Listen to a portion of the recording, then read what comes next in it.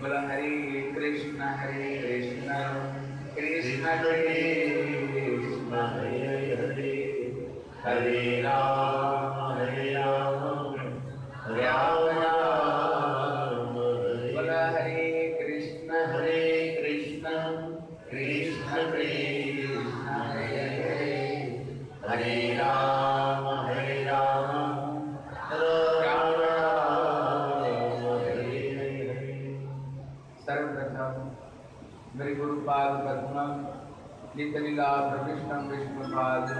अष्टोत्तर सदश्री श्री श्रीमद भक्ति श्री रूप सिद्धार्थ गोस्वामी महाराज जी के चरण कमल में अनंत कोटि साष्टांग दंडवत प्रणाम करता हूँ। तत्पश्चात बड़े शिक्षा गुरुपाद पद्म नितलीला प्रकृष्ण विष्णुपाद अष्टोत्तर सदश्री श्री श्रीनाथ भक्ति वेदांत श्रील नारायण गोस्वामी महाराज जी के चरण सरोज में श्रद्धा पुष्पांजलि अर्पण करता हूँ। उपस्थित वैष्णव, वैष्णवी माता, पिता, भाई, बहन, सभी को मैं श्रद्धा के को प्रणाम करता गतकल हम लोग श्रवण कर रहे थे। कृष्ण इंद्र पूजा को बंद कराते श्री गिरिराज गोवर्धन की उन्होंने पूजा करवाया पहले उन्होंने इंद्र पूजा क्यों बंद करवा दी? और श्री गिरिराज की पूजा उन्होंने क्यों करा हमारे गोस्वामियों ने उसको पीछे चार कारण बताए पहला कारण है, कहते झोली फैलाना ना, सबको पास में झोली मत फैलाना। फैलाना तो सिर्फ़ बांके मियाँ के उसको पास में फैला वो कृष्ण को पास में नहीं फैलाना। वही हमारे झोली को भर सकते हैं। जो तुझसे जो देवा देवी है, वो लोग क्या देते हैं? ये संसार की तुच्छ चीज़ को थोड़ी मोड़ी देते थे ज़्यादा नहीं। वो जो मांगो तो सो नहीं दे सकते लेकिन कृष्ण की ऐसे के देवता है आप इनसे जो, जो कुछ मांगो इसी जगत का इतने वैभव देते हैं। साधारण लोग क्या सोचते हैं? कृष्ण को भक्ति करना वो तो केवल मुक्ति ही देते हैं। लेकिन हमको तो धन दौलत पुत्र परिवार स्त्री दुनियादारी दुकान होता भी चाहिए। इसलिए हम क्या करते हैं, दूसरे दूसरे देवादेवी को पास में भटकते हैं। लेकिन श्री सुखदेव गोस्वामी कहते बोले, नहीं, बोले, अकाम सर्व काम व मोक्ष काम उदारदी त्रिप्रेण भक्ति जोगे न जजेत पुरुषम कहते, सारी कामना वासना लेकर के हो, बिना कामना के हो, मोक्ष काम की भी इच्छा हो, पूजा करना तो किसको पूजा करो? गिरिराज कृष्ण ही। बोले, कृष्ण को पूजा करो।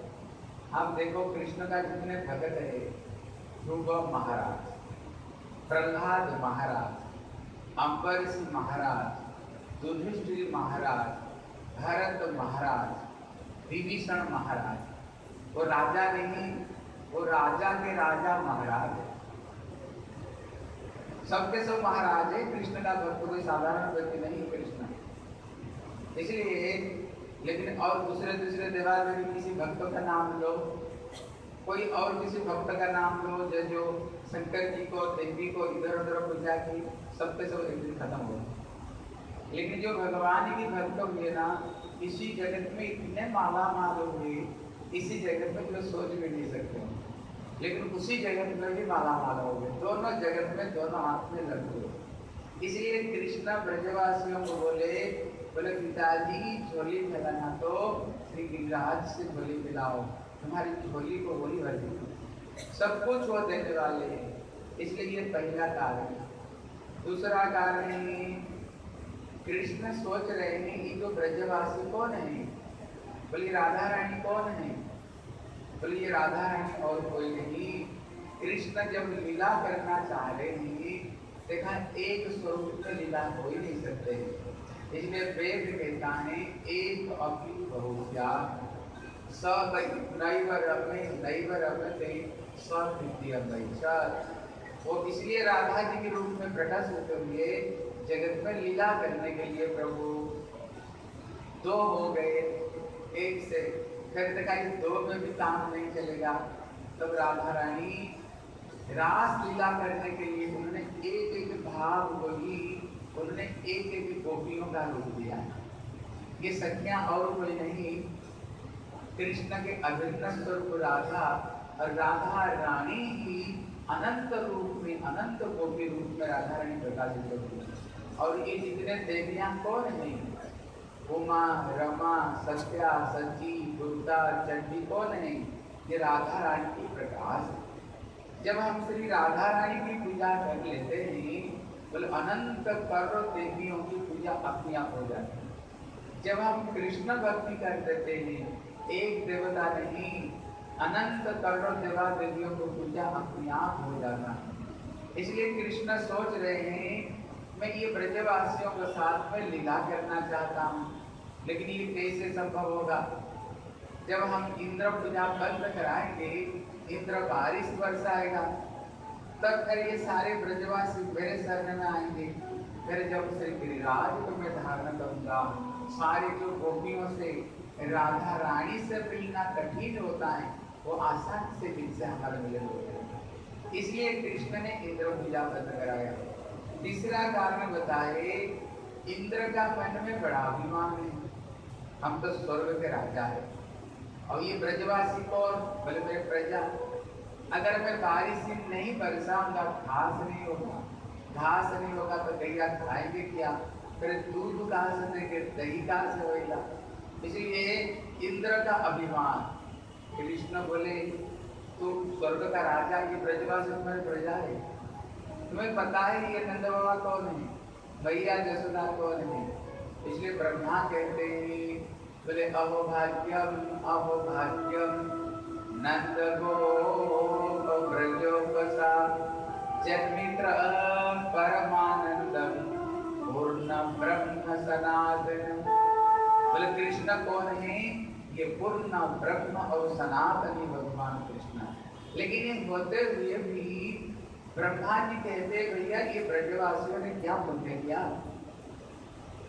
हाँ बोले समाज सुविधिरपि पश्यति, न तब न मरिची ब्रह्मा जैसे व्यक्ति करोड़ों करोड़ों साल तपस्या करते हुए भी भगवान की चरण की नख की जो छिटाएँ हैं, उसको भी दर्शन नहीं कर पाते।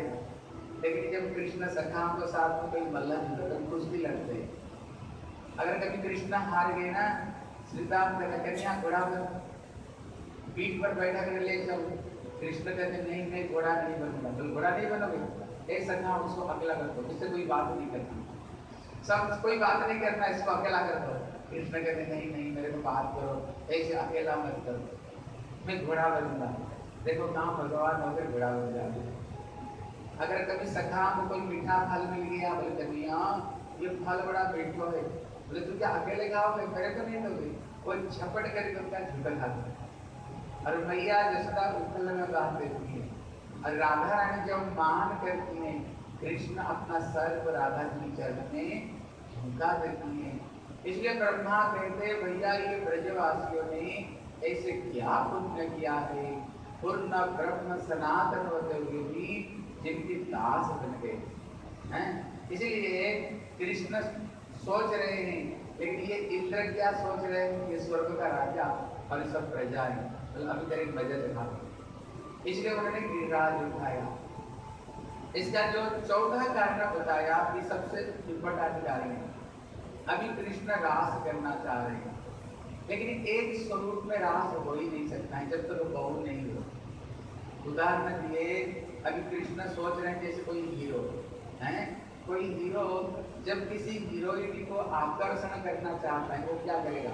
उस हीरोइन को सामने तो उसे अपना बहादुर दिखाना। लोग इकट्ठे करके खूब मारपीट करेगा। जब सबको परास्त कर देता है ना वो हीरोइन सोचती है वाह भाई तो बड़ा बलवान ये बड़ा पहलवान वो अपने आप आकर्षण हो जाती है। कहते ब्रज का हीरो कौन है? बोले, श्री नहीं आए। बोले, हीरोइन कौन है?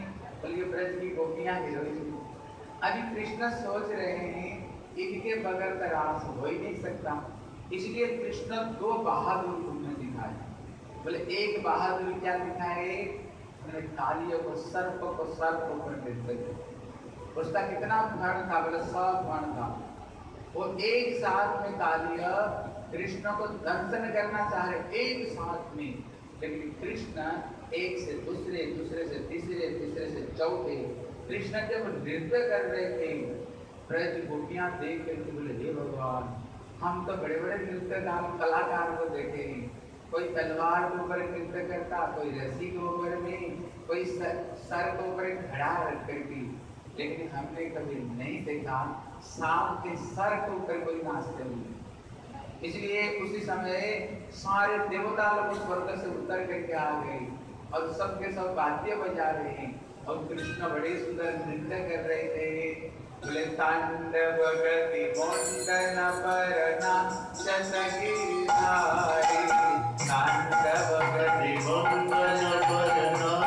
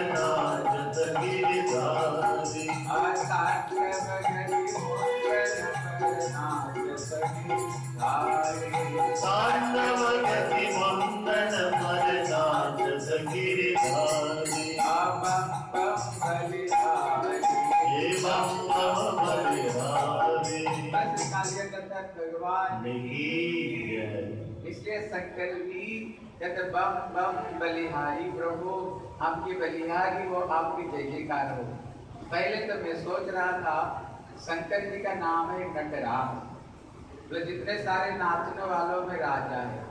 शंकर जी बोले मैं तो पहले सो सब, सबसे बढ़िया नाचने वाला मैं हूँ। लेकिन बम बम बलिहारी शंकर जी कहते प्रभु बलिहारी हो आपकी जय जयकार हो आपकी। है? इसलिए भगवान का नाम पड़ गया नट का बर नट मतलब शंकर जी पर मतलब शंकर जी का भी जो पति है। मतलब जब कृष्ण रास करेंगे शंकर भी गोपी बन करके प्रभु जी, रास को दर्शन करने के लिए श्री शंकर भी आएँगे। इसलिए एक एक उन्होंने लीला की है। बोले, दूसरा लीला क्या की?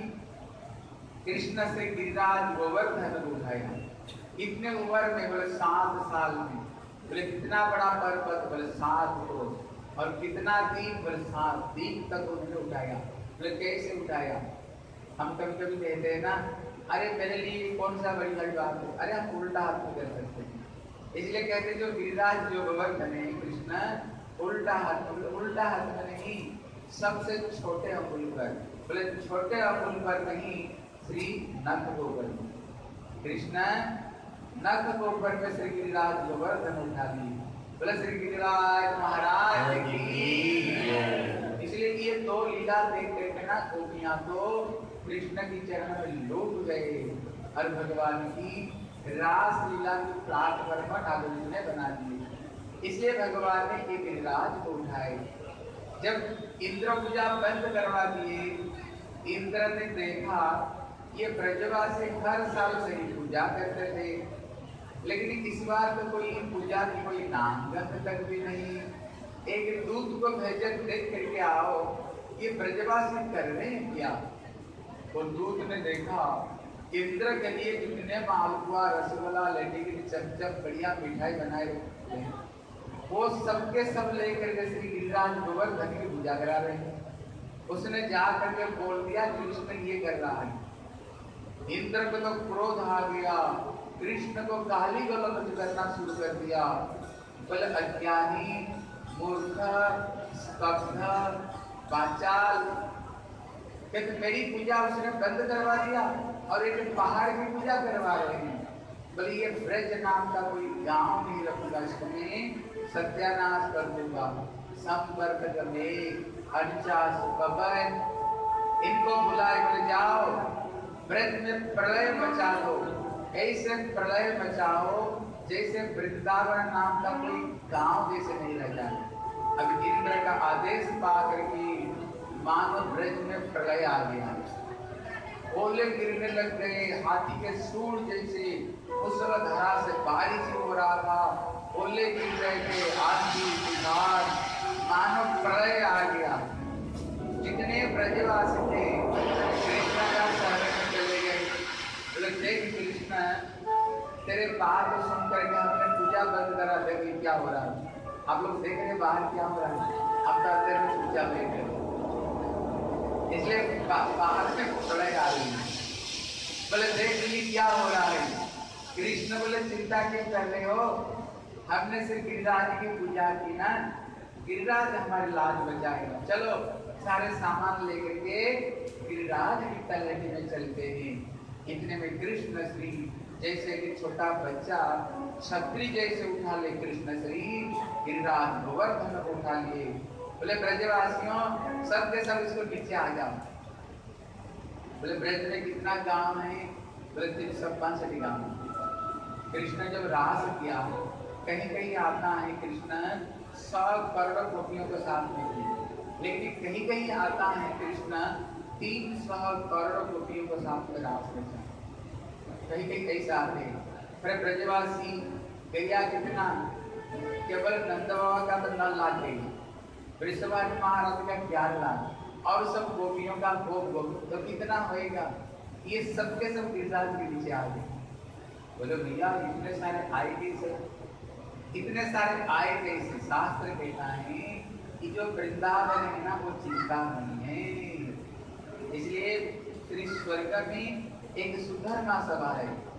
और सुधर्मा सभा की एक विशेषता है, अगर हज़ार लोग आ जाएगा, बैठ जाएँगे, लेकिन एक कुर्सी बचेगी।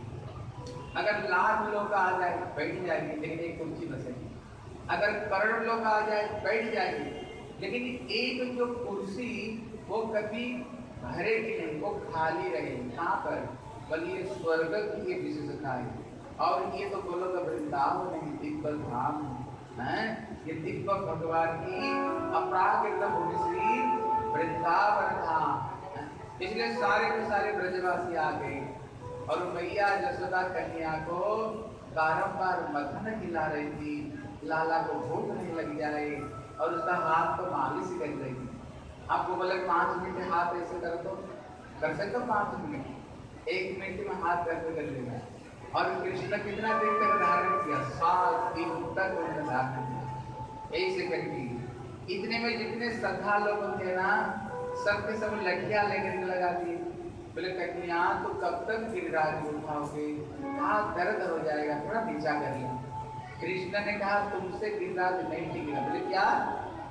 तू क्या अकेला मैया का दूध पिया? हमने मैया की दूध नहीं पी। नीचे हाथ कर ले, हम गिरिराज को उठा लेते हैं। सबके सब डंडा लगा दिया इतने में कृष्ण धीरे धीरे जब अपना हाथ को नीचे करने लगे, फिर नीचे आने लग गया। जो डंडा लगाए थे ना, सब डंडा टूटना शुरू की इतने में सखा ने बोले कन्या हमसे गिरिराज नहीं उठेगा। तो गिरिराज को उठा ले। हाँ? इसलिए कभी कभी कहते हैं ना, वो क्या कहती है? बोले कन्या तुमने थोड़ी गिरिराज उठाया। बोले किसी ने बोले, कच्छ कछु माल को बल गढ़ो, कच्छ गोबर ने करी सहाय और राधा रानी की कृपा से गिरिराज इसलिए श्री राधा रानी ऐसे टेढ़ी नज़र से देख रहे थे गिरिराज, अगर तुम नीचे उतरोगे ना, तेरे को मैं जला करके रात बना दूँगी। इसलिए राधा रानी की तेरी से चित्त से ये गिरिराज गोवर्धन डर कुमार उतर गई होगी। इसलिए वो नीचे और नहीं आए। और कभी कभी राधा रानी को दर्शन करते ही, कृष्ण का शरीर कांपने लग जाता था? इतने में गिरिराज डगमगाने लगता कृष्ण सखा कन्या ये क्या कर रहे हो? ठीक से गिरिराज उठा हाँ ठीक से गिरिराज उठा बोले, क्यों? बोले, राधा रानी का जो प्रेम है ना, अद्भुत प्रेम है। इसलिए हमारे गोस्वामी लोग कहते हैं, बोले, जस्या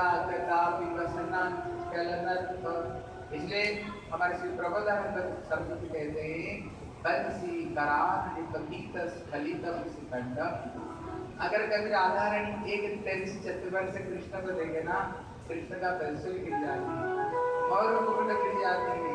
हैं में कृष्ण स्वयं गिर जाते हैं। ऐसे राधा जी की प्रेम की अद्भुत। इसलिए वृंदावन में जाओ तो इसलिए कोई कृष्ण कृष्ण नहीं बोलते वृंदावन में क्या बोलते हैं? ज़ोर से बोलो। और ज़ोर से। इसलिए वृंदावन में सबके सब श्री राधा जी की नाम को ग्रहण करते हैं। अभी इंद्र ने जी जान उसने लगा दी, ये ब्रज को ध्वंस करने के लिए, हैं? जब सात दिन समाप्त हो गया इंद्र एक दूत को भेजा, बोले, जाओ, देख करके आओ ये ब्रज का सत्यानाश हो गया कि नहीं? एक दूत आया, वो ऊपर ऊपर से देखा, बोले, महाराज, इंद्र ब्रज में एक चिट्ठी तक भी नहीं, सब खत्म। उसने और एक को भेजा बोले तू देख कर क्या हो रहा है ब्रज में? उसने जब आया, वो नीचे आया, देखा एक चिट्ठी तक भी वहाँ पर नहीं। वहाँ पर तो उत्सव हो रहा था, धूप मच रही थी। सब के सब नाच रहे थे, गा रहे थे, होली मच रहा था। बोले आज जय भी होली रे रसिया आज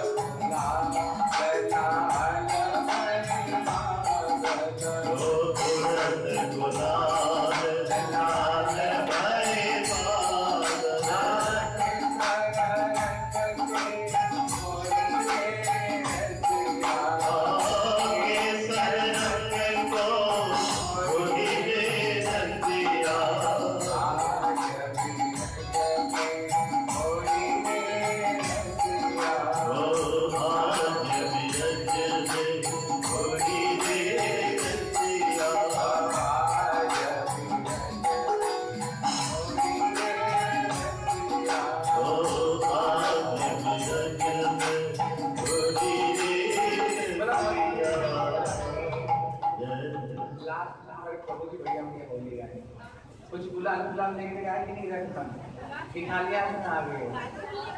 फूल लाए कि गुलाल लाए कुछ लाए कुछ लाए कि नहीं?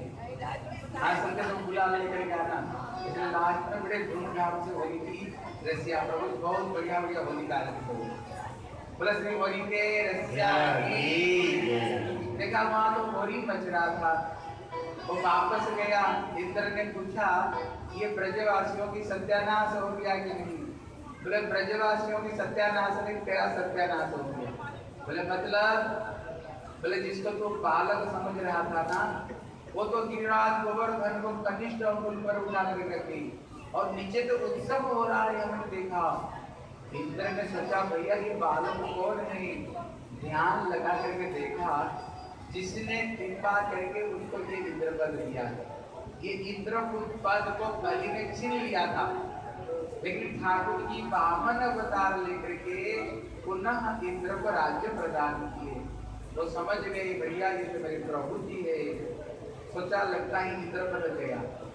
अभी अमरावती जहाँ पर सती को साथ वो विश्राम करना है। वहाँ सोने के लिए गया, उसको नींद नहीं आई। बोले, क्यों? बोले, लगता है इंद्र पद गया है हमारा ठहर गया गुरु जी को पास में, शुक्राचार्य जी को पास में। बोले गुरु जी ऐसे ऐसे हो गया। बोले, भैया, मैं नहीं कुछ कर सकता हूँ। बोले फिर बोले, चलो, ब्रह्मा जी को पास में। ब्रह्मा जी को पास में जब गए, बोले, तुमने सत्यानाश कर दिया। कि जो कृष्ण, ये ऐसे एक अवतार है, सभी की मान को इसने मर्दन किया। ऐसे किसी को उन्होंने छोड़ा नहीं। इसलिए भागवत का प्रथम श्लोक में बताया मुझे सुन रहे बोले, जिनकी माया में बड़े बड़े देवता लोग भी जिनकी माया में मोहित हो गए। प्रभु किसी को उन्होंने छोड़े नहीं। इसी अवतार में सबके सब कृष्ण के चरण में माफ़ी मांगे। बोले देख मैं भी कुछ कुछ दिन पहले बड़े बुरे तरह से फंस गया था। बोले, आप भी फंस गए थे? बोले हाँ। बोले, कैसे? बोले, एक दिन कृष्ण उन्होंने अघासुर को वध किया। अघासुर को वध किया तो देवता लोग देख करके पाँच साल का बालक और इतने बड़े राक्षस को वध किया, देख करके देवता लोग स्वर्ग में जयकार लगाए बोला, श्री कृष्ण कन्हैया, लाल की हम जय आज तो कोई व्रत है ना, आवाज़ नहीं निकल रही बोले, श्री कृष्ण कन्हैया, लाल की बल्कि स्वर्ग लोग से वो धीरे धीरे ब्रह्म लोग तक पहुँचा। ब्रह्मा जी ने देखा, भैया, ये इतने जय जयकार क्यों हो रहा है। ब्रह्मा जी उतर के आए। देखा, पाँच साल का बालक और इतने बड़े दैत्य को मारे और उसका ब्रह्म तालु फट गई और वे ज्योति निकली। और वो ज्योति कृष्ण के शरीर में समा गया। ब्रह्मा तो चक्कर में गए भैया, ये बालक कौन है? जिसमें ये ब्रह्म ज्योति भी समा गया। इतने में कृष्ण सखाओं को साथ में बैठ के कलवा कर रहे मैया ने घर से किसको पकड़ा किसने दही भात कोई दूध भात, कोई मालपुआ, कोई मिठाई लाई। तो कृष्ण बीच में बैठे हुए सखा चार तरफ़ में गिरे हुए लेकिन हज़ार हज़ार सखाएँ लेकिन वो सबके सब देख रहे थे, कृष्ण हमारे सामने। सबके सब देख रहे थे। और कृष्ण क्या कर रहे थे? घर से जो लाए हुए थे ना अगर कोई मालपुआ लाए, खाए तो कन्या मेरी भैया ने बड़े सुंदर मालपुआ भेजे हुए बोले तू अकेला खाओगे खड़े तो नहीं तो खा चुके हैं। कृष्ण उनका जूठा खा बोले मेरी भैया ने बड़ी सुंदर दही भात दिया। है कभी खाए दही भात कोई खाए नहीं। ये जो रोटी है ना, भगवान रोटी नहीं खाते। भगवान राम है ना, आप उसका चरित्र करो। आप जब जिस समय श्री श्री दशरथ महाराज भगवान राम को दही में दूध भात कृष्ण में दही भात दूध भात लाते हैं। ये जो चावल खाना है ना, ये हमारे पहले से था। जो रोटी खाना अभी आप रोटी खाना लेकिन पहले देखो, कहीं रोटी के नाम हर समय आता है, चावल भगवान के खा रहे इसलिए ब्रज में एक गाँव का नाम है भात रोल भगवान ने भात खाए। भगवान ने भात बजाए। अभी जो लाएगा पहले खा करके कृष्ण को खिला रहे थे, ब्रह्मा तो चक्कर में पड़ गए बोले ये कैसे भगवान है? जिनको झूठन फूटन का भी पता नहीं, वो सबका झूठाई नहीं खा रहा है। बोले, भैया, ये भगवान कैसे हो सकता है? इतने में कृष्ण की बछड़े और सखा को ब्रह्मा को किया। जब चोरी की, एक एक गुफा में बंद करके चले गए, जब चले गए, ब्रह्मा ब्रह्म लोक में पहुँचने से पहले वो कृष्ण स्वयं वहाँ पर पहुँच गए ब्रह्मा बन करके वहाँ का जो दरबार था, बोले, देखो, मैंने देखा तो जो बहु रुपया को घूमते हुए, अगर मेरे जैसे कोई आए ना, उसका अंदर में घुसने में दिया करना। और कृष्ण ब्रह्मा बनकर के बैठे गए, ब्रह्मा जी के आसन पर। जब असली जो ब्रह्मा जब आए, उनका जो तलवार थे ना, वो दंड लेकर के ब्रह्मा जी को मारने के लिए दौड़े, तू कहाँ से आ गया? हमारा प्रभु तो अंदर में बैठे हुए प्रभु सही बता रहे थे उनके जैसे कुछ बहु रुपया हुए ब्रह्मा बोले, भैया, मेरे नौकर पहले भी भगा रहे तो ये ब्रह्मा बनकर कौन बैठे गया उनने ध्यान लगा करके देखा, उनकी प्रभु ही स्वयं ब्रह्मा बनकर बैठे हुए है। तो ब्रह्मा, ब्रह्म लोग से उतरे एक साल हो गया आते जाते, देखा, एक साल पहले कृष्ण जैसे लीला कर रहे थे कृष्ण अभी भी वैसे ही लीला कर रहे हैं। फिर ब्रह्मा चक्कर में पड़ गए। बोले, बछड़े सखा को तो मैंने चोरी करके रखा। कृष्ण क्या ले आए? जा करके देखा नहीं वो भी ऐसे ही है ब्रह्मा का चार सर है उधर दो और इधर दो। जब एक साथ में देखा, कृष्ण ने कहा, देखो, ये सखा लोग कौन है और ये बछड़े कौन है देखा। सब के सब चतुर्भुजधारी नारायण। ब्रह्मा समझ गए। बोले, एक नारायण का नाभि कमल से मेरी सृष्टि। यहाँ पर अनंत करो नारायण नारायण नारायण। मतलब कृष्ण कौन है यदि नारायण का नारायण का जो मूल है, ये भगवान कृष्ण है। इसलिए ब्रह्मा उन्हें चालीस श्लोक में स्तुति करते हैं। हम दो तीन श्लोक कोशिश करेंगे सुनने के लिए। बहुत अच्छी अच्छी बात बताई। बोले, ईश्वर परम कृष्ण सचिदानंद विग्रह गोविंद सर्व कारण कारण बोले, कृष्ण कौन है? बोले ईश्वर है। बोले, ईश्वर का डेफिनेशन किया है? बोले अकर तुम कर तुम अन्यथा कर तुम जह सकते मतलब जो दिन को रात और रात को जो दिन बना सकते वो मरा हुआ व्यक्ति को ज़िंदा कर सकते, ज़िंदा व्यक्ति को तो मरा, मार सकते, ये भगवान है। देखो, हम कभी कभी ध्यान देते सुनो हम कभी कभी जिसको जिसको ना भगवान बोलना शुरू कर देते हैं। अरे, अमुक भगवान अमुक भगवान अमुक भगवान। क्यों? दूसरों को भगवान बोलते हैं कारण है, हमने भगवान का डेफिनेशन नहीं जानते। हमने गीता पढ़ी नहीं कभी ज़िंदगी हमने कभी रामायण पढ़ी नहीं। कभी ज़िंदगी में भागवत नाम सुने नहीं पड़े नहीं। इसलिए हम जिसको जिसको ना भगवान बोल करके पीछे पीछे भागने लग जाते हैं। भगवान सब नहीं हो सकते कहते भग मतलब होता है ऐश्वर्य, और पान मतलब होता है भगवान की छह ऐश्वर्य। ध्यान देकर सुनो फिर जिसको जिसको पीछे भगवान बोल कर भागोगे नहीं। अच्छे तरह से मन लगा कर सुनेंगे चीज़ को। ये ब्रह्मा स्वयं ये बात को कह रहे हैं। भगवान मतलब भग मतलब ऐश्वर्य। पान मतलब जैसे हम कह रहे हैं ना बल्लपान धन पान कहते हैं ना, उसी तरह भगवान। भग मतलब ऐश्वर्य। कहते जिसको अंदर में छह ऐश्वर्य परिपूर्ण रूप में हो, कहते वो भगवान है। बोले, छह ऐश्वर्य क्या क्या है? बोले, पहला नंबर है समग्र ऐश्वर्य ये केवल भारत का ऐश्वर्य नहीं, केवल भारत जैसे अंबानी है उसके पास में कितना पैसा है। यहाँ पर टाटा, बिरला और बड़े बड़े रिलायंस दुकान वाले पड़े हुए ना। इसलिए उसके पास केवल भारत नहीं, केवल पृथ्वी नहीं, ये भूर भूगम मोह जन तप सत्य लोग अतल वितल तलातल पाताल लोग नहीं।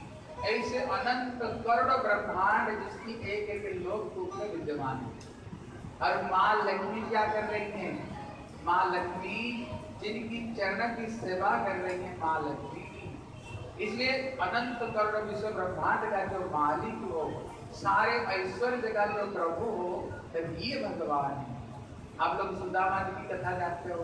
सुने कि नहीं? सुदामा कृष्ण को दो मुट्ठी चिड़वा खिलाया जब तीसरी मुट्ठी खाने जा रहे थे, रुक्मिणी हाथ पकड़ के बोले, प्रभु नहीं, अपने दो मुट्ठी चिड़िया खा लिया ना, उसको घर में सारे ऐश्वर्य पहुँच गई और सुदामा आया तो उसने क्या देखा? सोने की राज महल आप लोग टीवी देखे होंगे, जब भगवान ने सुदामा जी का राजमहल बना दिया ना सोने की, तब वो सुशीला कह रही थी बोले, प्रभु मेरे गाँव लोग दुखी दरिद्र रहेंगे और इनके बीच में मैं कैसे धनवान हो सकता हूँ? मैं चाहता हूँ पूरा जो वृंदापुरी को अब पूरा सोने के महल बना दो।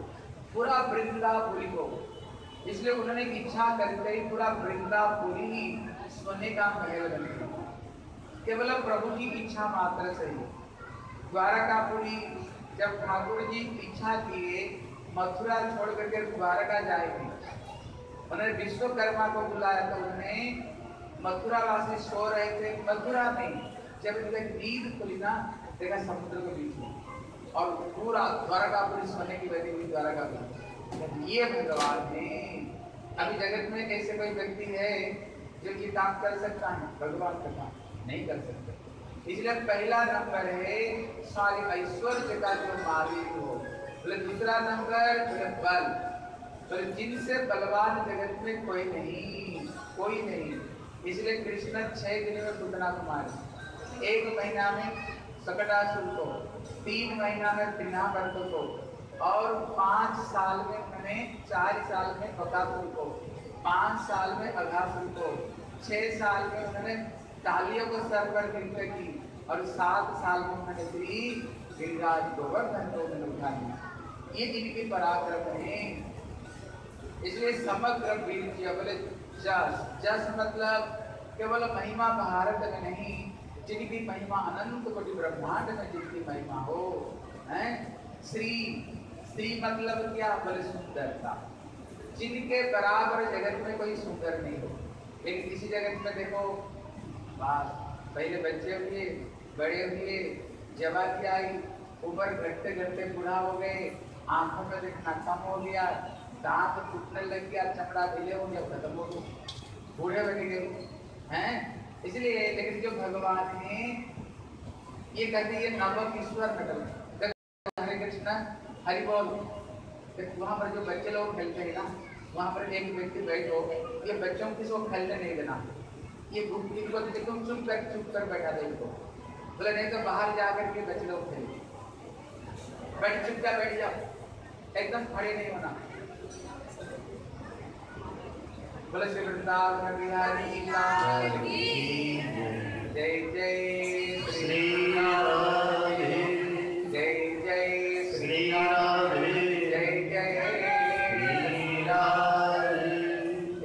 एक चीज़ समझो भगवान कभी बूढ़ा नहीं होते और भगवान कभी मर अगर कोई बूढ़ा हो गया और कोई मर गया ना समझना वो भगवान नहीं जैसे भगवान राम तो दोनों बच्चों को अलग हो जाते ये बैलून भी हाथ से छीन लो। दोबारा छीन लो इन बच्चों का हाथ कल को फोड़ दो दोबारा। नहीं तो तुम्हें भी कथा सुनने नहीं देंगे और एक कथा कहने भी नहीं देंगे। यहाँ चुप कर बैठे यहाँ पर। हाँ, हरे कृष्ण देखो जैसे भगवान राम इसी जगत में ग्यारह हज़ार साल तक ज़िंदा रहे जगत में रहे। लेकिन आपने कभी राम का स्वरूप में बूढ़ा स्वरूप नहीं देखे? भगवान राम कृष्ण 125 साल तक रहे। भगवान कृष्ण का कभी दाढ़ी थे? भगवान राम का कभी दाढ़ी और उनका मोज कभी देखे हो कभी? देखे हो कभी? भगवान आप आप, आप लोगों ने टीवी में रामायण देखे हो? कौन कौन देखे हो? देखे हो। एक एक चीज़ को समझ लो। जब भगवान राम किसी जगत से गए वो अकेले नहीं गए संपूर्ण अयोध्या वासियों को लेकर गए राम। केवल एक व्यक्ति को छोड़े श्री हनुमान जी को, क्योंकि जगत में राम भक्ति को प्रचार करने के लिए जब भगवान कृष्ण गए, केवल एक व्यक्ति को रख करके गए और सबको लेकर गए। एक किसको रखने बोले तोते को। एक सुखदेव गोस्वामी को जगत में भागवत कथा प्रचार करने के पूरा ब्रजवास जब श्री बजरनाथ राजा बने, देखा ब्रज में कोई भी एक व्यक्ति भी ब्रज में नहीं। एक व्यक्ति ब्रज में थे क्यों भगवान सबको लेकर के चले गए? भगवान अपना भक्तों को लेकर के आते हैं और भक्तों को लेकर के चले जाते हैं ठाकुर से। इसलिए जो व्यक्ति मरते हैं और जो व्यक्ति बूढ़े हो जाते हैं, समझना कि भगवान नहीं, ये भगवान श्री नहीं। इसलिए यहाँ पर से ब्रह्मा जी कहते बोले, हे प्रभु, आप ईश्वर हो और जितने सारे कारणों का कहते मूल कारण कौन है? बोले भगवान श्री कृष्ण है। बोले श्री कृष्ण कन्हैया लाल की जय। जय श्री राधे बोले क्या है प्रयास मुदुपास नमन्त एव जीवन्ति सन्मुखरीतः भवदीयवार्ता स्थाने स्थितां श्रुतिगता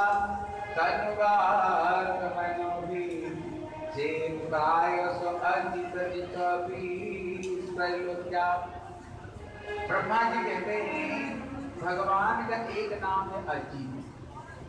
अजित मतलब क्या? बोले, जिनको जितना जिनको पाना बहुत कठिन। प्रश्न है, फिर भगवान क्या मिलेंगे? ब्रह्मा कहते, नहीं, वो नहीं मिलते हैं।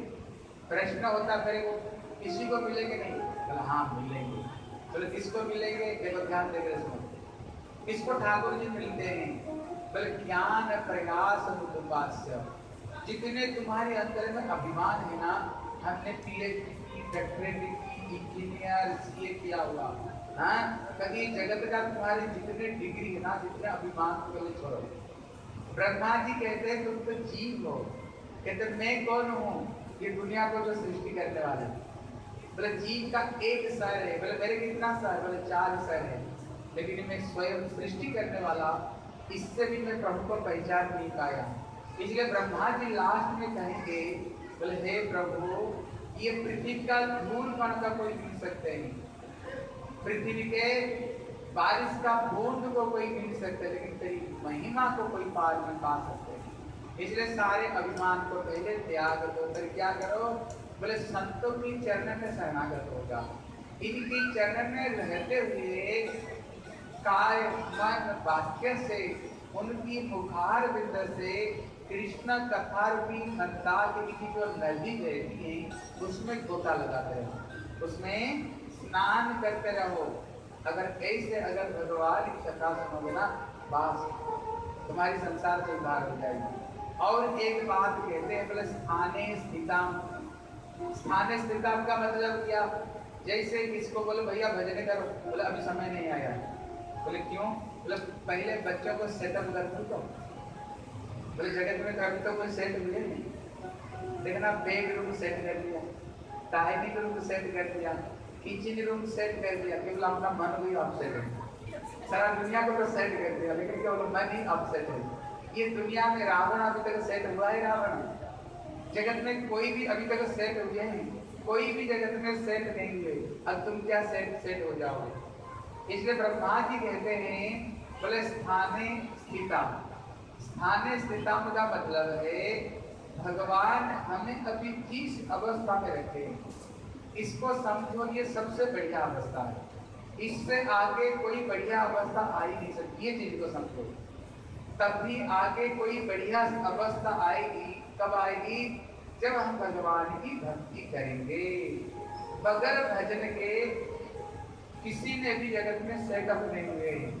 इसलिए क्या करो, उसी अवस्था में रह करके भगवान की भजन को शुरू कर दो। भगवान की भक्ति को प्रारंभ कर दो। और एक चीज़ ब्रह्मा जी कह रहे हैं चीज़ को ध्यान दे ब्रह्मा जी कहते हैं, जीवन में जो कुछ आता है कभी किसी को पर दोष मत लगा अरे हमको व्यक्ति ने मेरे साथ में ऐसे करवा दिया। उसने ऐसे करा। नहीं तो ऐसे क्यों होता उसने? नहीं।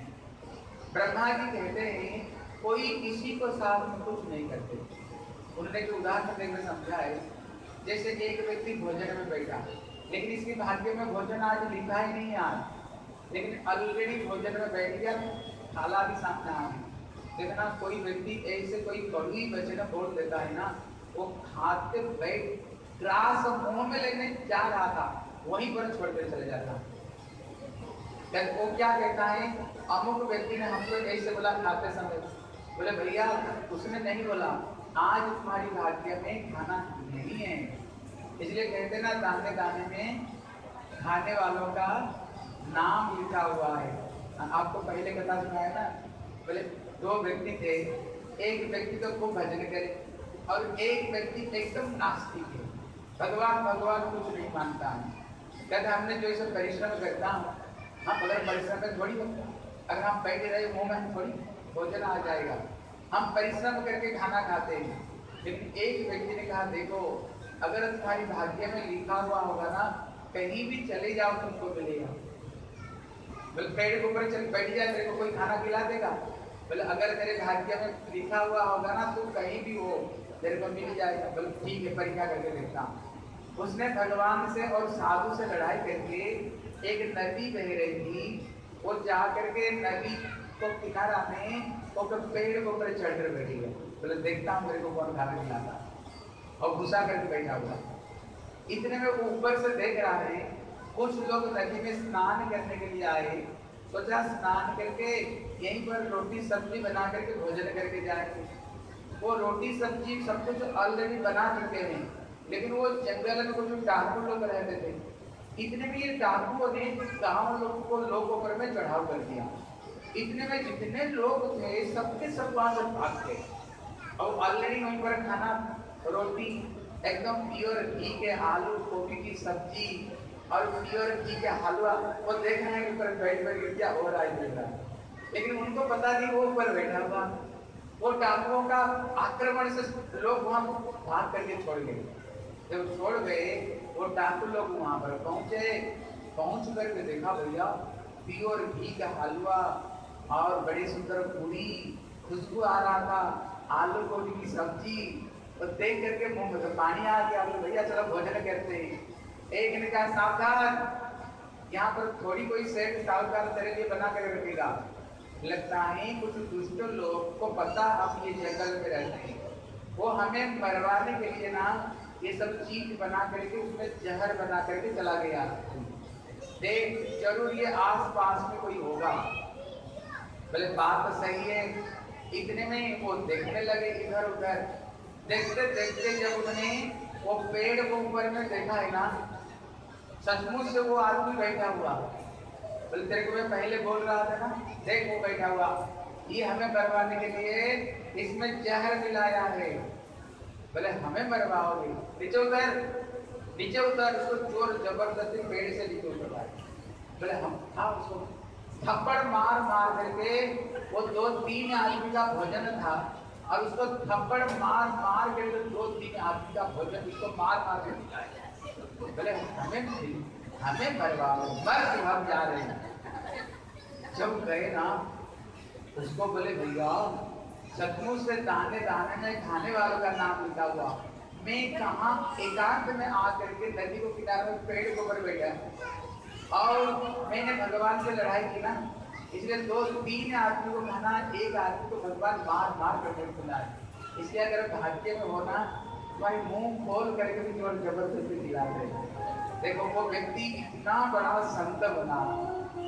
देखो, ये प्यार वो लिखते हैं, बोले, अजगर ना करे चाहती पंखी करे ना काम दास मलुक कह गए सबके दाता सबके दाता राम। इन्होंने ये प्यार को लिखे इसलिए ब्रह्मा जी कह रहे हैं, देखो, तुम्हारे जीवन में जो कुछ आता है, क्या समझो, कभी किसी को ऊपर दोष मत लगाओ।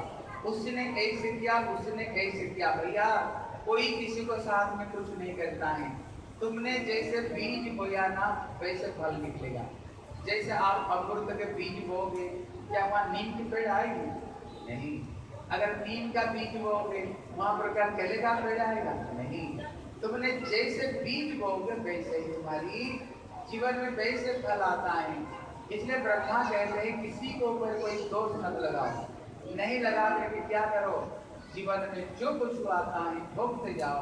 हाँ भोग करते जाओ, लेकिन भगवान की भजन मत छोड़ा भगवान की भक्ति कभी नहीं छोड़ना, बोले क्यों? बोले, भगवान कौन है? कि अनंत कोटि विश्व ब्रह्मांड का ये मालिक ठाकुर जी। हैं? तुम कौन हो? बोले, तुम उनका बच्चे हो, अमृत पुत्र एक दिन ये सारे संपत्ति का तुम ही मालिक बनोगे। लेकिन मान मालिक बनोगे कब जब तुम भगवान की भक्ति करो। जब भगवान की भक्ति करोगे तभी तो मालिक बन सकते हो। इसलिए भजन में अगर थोड़ी बड़ी कोई दुख कष्ट आए ना कभी किसी को मेरे दोष मत लगाते हुए भगवान की भजन करते रहो। एक बार हाथ उठा एक बार हाथ उठाना बोलो हरे कृष्णा हरे कृष्णा कृष्ण कृष्ण कृष्ण हरे हरे हरे राम।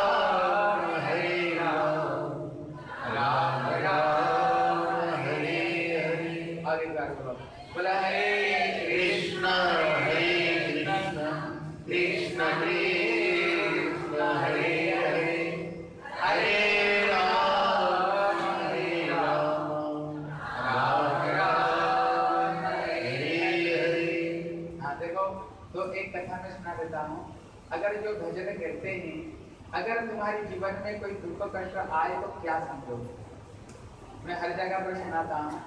आप अच्छे तरह से चीज़ को समझो। अगर ये चीज़ को समझोगे ना, भजन में थोड़ी दुख कष्ट आएगा भजन नहीं छोड़ोगे। भगवान की भक्ति कभी नहीं छोड़ोगे।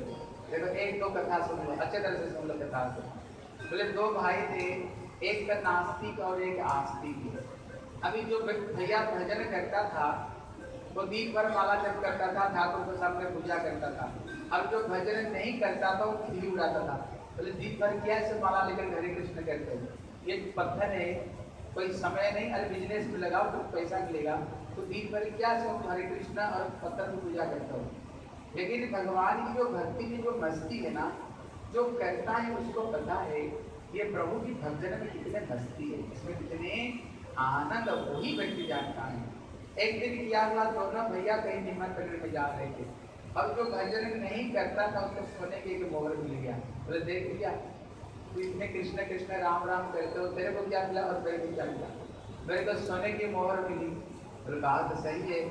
और थोड़ी देर दूर गए गए ना, जो भजन नहीं कर, जो करता था, उसको पैर में इतना बड़ा कांट लोहे का कांटा सीख कर गई।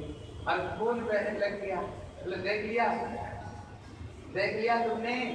तुम इतने भजन करते हो, तेरे को मिला क्या? तेरे प्यार में कांटा गड़ गया और मेरे को सोने की मोहर मिली। इस चीज़ को देख कर मेरे को बड़ा खुशी हो गया। बोले, बात सही है। उसने भगवान को पुकारा, ठाकुर जी, तेरा इतना भजन पूजा पाठ करता हूँ तो मेरे साथ में ऐसे किया है? इतने में आकाशवाणी हुई, बोले, बेटा, ये मत समझो। भजन करने वालों को कष्ट आता है। सुना तुम्हारी जीवन की कथा सुनो अभी जिसको सोने की मोहर मिली है ना, ये पूर्व जन्म में इतने काम इतने पुण्य किया था। आज का दिन राज दरबार में उसको राज मुकुट, राज तिलक लगने का था। लेकिन वो मेरे और मेरे भक्तों को निंदा करता है। इसलिए मैंने इसकी सारी पुण्य को समाप्त कर दी और ये सोने की मोहर देकर उसको वंचित कर दिया। तेरी कथा सुन। पूर्व जन्म में तुमने मर्डर किया था।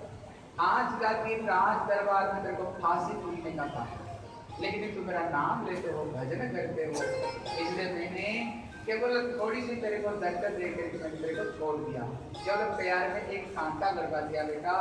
ये मत समझो, भक्ति करने वालों को दुख कष्ट मिलता है। ये कभी नहीं समझनी चाहिए ये ठाकुर की स्वयं की बात बताए। हाँ दूसरी चीज़ को अपना दिमाग में बैठा तो दूसरी चीज़ को। जैसे भजन कर रहे हो अगर कोई दुख कष्ट आ गया, कभी कभी हम ये कहते हैं, हम ठाकुर जी को इतने भजन पूजा पाठ करते हैं और ठाकुर जी हमें दुख कष्ट देते हैं, क्यों दुख कष्ट देते हैं? देखो, ये चीज़ को समझो एक उदाहरण दिया, जैसे गाँव में गेहूँ की खेती होती है, लेकिन अगर ड्रम बना करके रखते हैं और गेहूँ को ऊपर से डाल देते हैं और नीचे एक छिद्र होता है, जितना ज़रूरत, नीचे निकाल करके फिर उसको आटा बना कर खाते हैं। जैसे इसी साल में आपने गेहूँ की खेती करवाया, लेकिन उसका दाना छोटा छोटा हुआ, लेकिन बड़ा नहीं हुआ, उसको भी ऊपर से डाल दो। दूसरे साल जब आप खेती किया, गेहूँ की दाना बहुत बड़ा बड़ा हुआ, उसको भी ऊपर से डाल दो। जब नीचे से आप गेहूँ निकालोगे, बताओ तो पहले कौन सा गेहूँ आएगा, छोटा आएगा ना बड़ा आएगा? कौन बोलेगा हाथ उठाओ बताओ, कौन पहले छोटा आएगा ना, पहले बड़ा आएगा? कौन सा आएगा? हाँ। क्यों? छोटा क्यों आएगा? वो तो ऊपर से बड़ा को डाला है। ऊपर से बड़ा डाला है ना? अरे छोटा क्यों आएगा? हाँ देखो ये चीज़ को अपना दिमाग में बैठा हो हाँ बड़ा आएगा लेकिन कब आएगा? जब वो छोटा खत्म हो जाएगा क्योंकि तुमने पहले छोटा गेहूँ डाले हो? जब वो समाप्त हो जाएगी बड़ा गेहूँ आएगा? लेकिन जब छोटा खत्म हो जाएगी। समझ रहे कि नहीं? जैसे अभी हम भक्ति कर रहे हैं लेकिन पहले जन्म में हम क्या करके आए, हमें कोई पता है? कुछ पता नहीं है। हमें कुछ पता नहीं। इसलिए जब छोटा गेहूँ खत्म हो जाएगी मतलब पहले जो हमने कर्म की है, जब उसका खत्म हो जाएगा, जो बड़ा गेहूँ हम डाला है, फिर धीरे धीरे बाद में वो भी आएगा। मतलब अभी जो भजन कर रहे हैं, इसका फल ज़रूर मिलेगा। कृष्ण खुद कहते अर्जुन नेह विक्रम नाश अस्ति प्रत्यपाय विद्यते स्वल्पम अपस्य धर्मस्य त्रायेत भया हे अर्जुन, मेरे लिए अगर कोई इतनी सी करे ना उसके लिए भी इतना करता हूँ। बताओ, द्रौपदी ने भगवान को क्या की थी? जब भगवान के अंकुल कट गया, द्रौपदी केवल अपना साड़ी को फाड़ करके बांधे थी, और उसने कुछ नहीं की। कृष्ण ऋणी, भगवान ऋणी मुक्त हो गए। भगवान सोच रहे थे, कब समय आए? और ये द्रौपदी का ऋणी को मैं कब चुकाऊं? कब चुकाऊं? भरी सभा में जब वस्त्र हरण हो रहा था, ठाकुर जी, वस्त्र बन करके प्रकट हो गए। दस हज़ार हाथी का ताकत खत्म हो गया, लेकिन दस हज़ार साड़ी समाप्त नहीं हुई।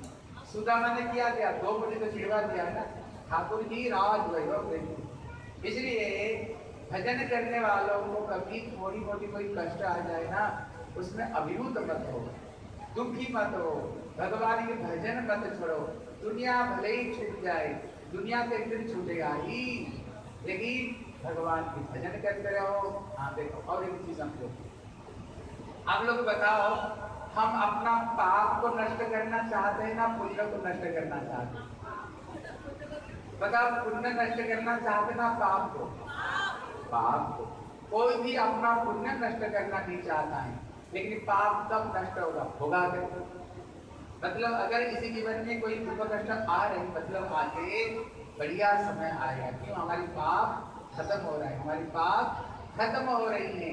इसलिए ब्रह्मा जी कहते भैया, ठाकुर जी जिस स्थिति में रखे हैं, वो स्थिति को सबसे बढ़िया समझ करके भगवान की भजन करते रहो, किसी को ऊपर कोई दोष मत लगाओ हैं? किसी को ऊपर कोई दोष मत लगाओ। अब समझे भगवान।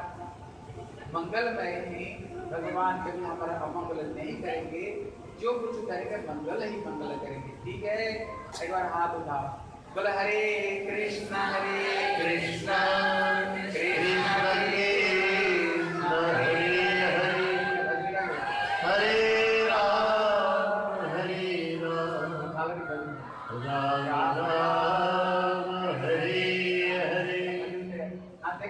जी जब भगवान को स्तुति कर रहे थे ना, भगवान खुश नहीं हो रहे थे। ब्रह्मा सोचे, इतने बढ़िया बढ़िया मैंने बात बताया। भगवान को इतने प्रणाम किया, लेकिन तब भी भगवान खुश नहीं हो रहे। वो तो सखा को साथ में मस्ती से खेल रहे। और सखा लोग ब्रह्मा को चिढ़ा रहे थे। बोले, भैया, ये चौमुआ चौमुआ मतलब ये चार मुँह वाला कहाँ से आ गया? ब्रह्मा जी सोचे, अभी तक तो भगवान को स्तुति की अभी एक बार उनका भक्तों को स्तुति करके देखता हूँ। उन्होंने ब्रजवासियों को स्तुति की, बोले अहोति धन्या, ब्रजोगरमन्या, हैं? बोले, ये ब्रजवासियों की सौभाग्य क्या बताएँगे? ये ब्रजवासी कितने सौभाग्यवान है। बोले, क्यों? बोले, कृष्ण जिस समय ब्रह्मा जी, कृष्ण का सखा बछड़ा को चुराया, कृष्ण ही बछड़ा सखा बन बन गए तो बछड़ा भी कृष्ण बने थे। और बछड़े बन के क्या करते थे? गैया का दूध पान करते थे। बोले और ब्रज में जितने सब सखाओं का रूप कृष्ण धारण किया था और जितने मातृ स्थानीय गोपी थी, कृष्ण सभी का स्तन पान किए। अब देखना, बच्चा जब स्तन पान करता, कितना खुश होकर के। बछड़ा जब दूध पीता है, कितना खुश होकर के। ब्रह्मा जी कहते हैं, भगवान को जैसे हवन में हम स्वाहा करते हैं। बोले, हे प्रभु उसी में आप इतने संतुष्ट नहीं होते हो। लेकिन जब आप ब्रजवासियों का सखा उनके बेटे और बछड़े बन करके जब दूध पान करके आप इतने प्रसन्न हुए, ये ब्रजवासी पूर्व जन्म में क्या पुण्य किया है? तो पूर्ण ब्रह्म सनातन होकर के सखा बन गए। इतना जब बोले है ना, कृष्ण थोड़ी सी हँसी मीठी मीठी मुस्करा ब्रह्मा को पता चला, भगवान का कमज़ोर कहाँ पर? मतलब भगवान शिक्षा देते ही अगर मेरे को खुश करना चाहते हो ना, लेकिन मेरे भक्तों को अगर खुश कर दिया तो मैं अपने आप खुश हो जाता हूँ।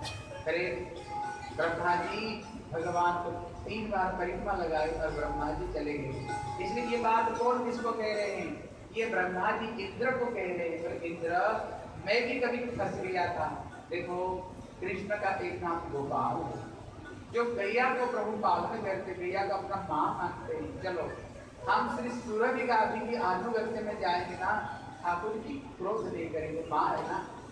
इसलिए चलो सूरज गांधी के आनुगत्य में चलते हैं। फिर ठाकुर जी को उन्होंने अभिषेक कराया उनको प्रणाम की और भगवान के एक नया नाम रख दिया गोविंद नाम रखा। बोले श्री गोविंद भगवान की की। जय जय। श्री राम।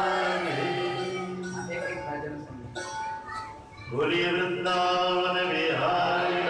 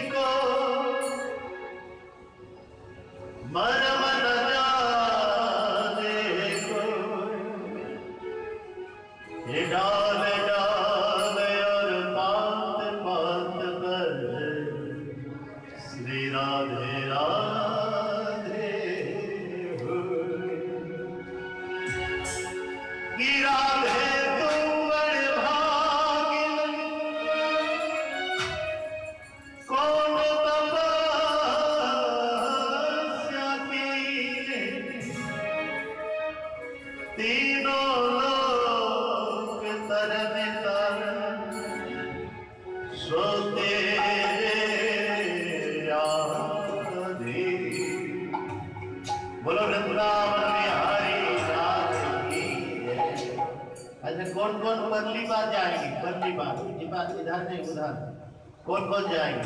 पहली बार ठाकुर जी के पास में कौन जाना चाहते हैं? हाथ उठाओ कौन कौन जाना चाहते हैं? कोई कोई डर से हाथ नहीं उठा रहे। पता नहीं वहाँ क्या है। तो सभी लोग जाएँगे पहली बार जो हाथ उठाए जाएँगे। तो आइए नाचते कूदते भय पहली बार जाएँगे। देखिए रामायण में भगवान कहते हैं कि निर्मल मन जन सो वही पावा और मोहि कपट छल छिद्र न भावा। भगवान कहते हैं मुझे जो है निर्मल जो मन है, वो खूब प्यारा है। और जो छल कपट छिद्र भरा हुआ, वो मुझे कतई प्यारा नहीं। तो निर्मल कैसे होता है मन? जब कीर्तन में ताली बजाएँगे, नाचेंगे कूदेंगे तभी तो मन निर्मल होगा। तो आइए, सभी लोग रास्ते को देख रहे हैं। बल्ली पर जाएँगे, मानसिक रूप से। अरे जहाँ विराजे,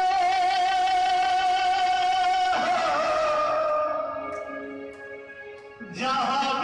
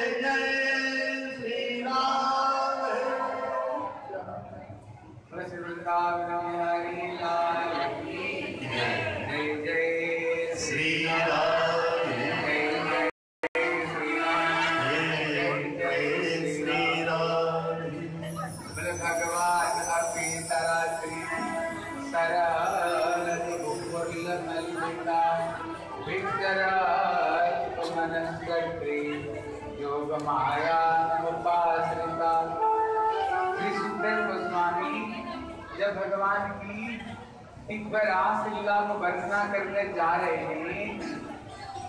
उन्होंने एक शब्द को जरा सबको उन्होंने सावधान कर दिया। हाँ बोलो, कोई बात मत करो। हरे कृष्ण।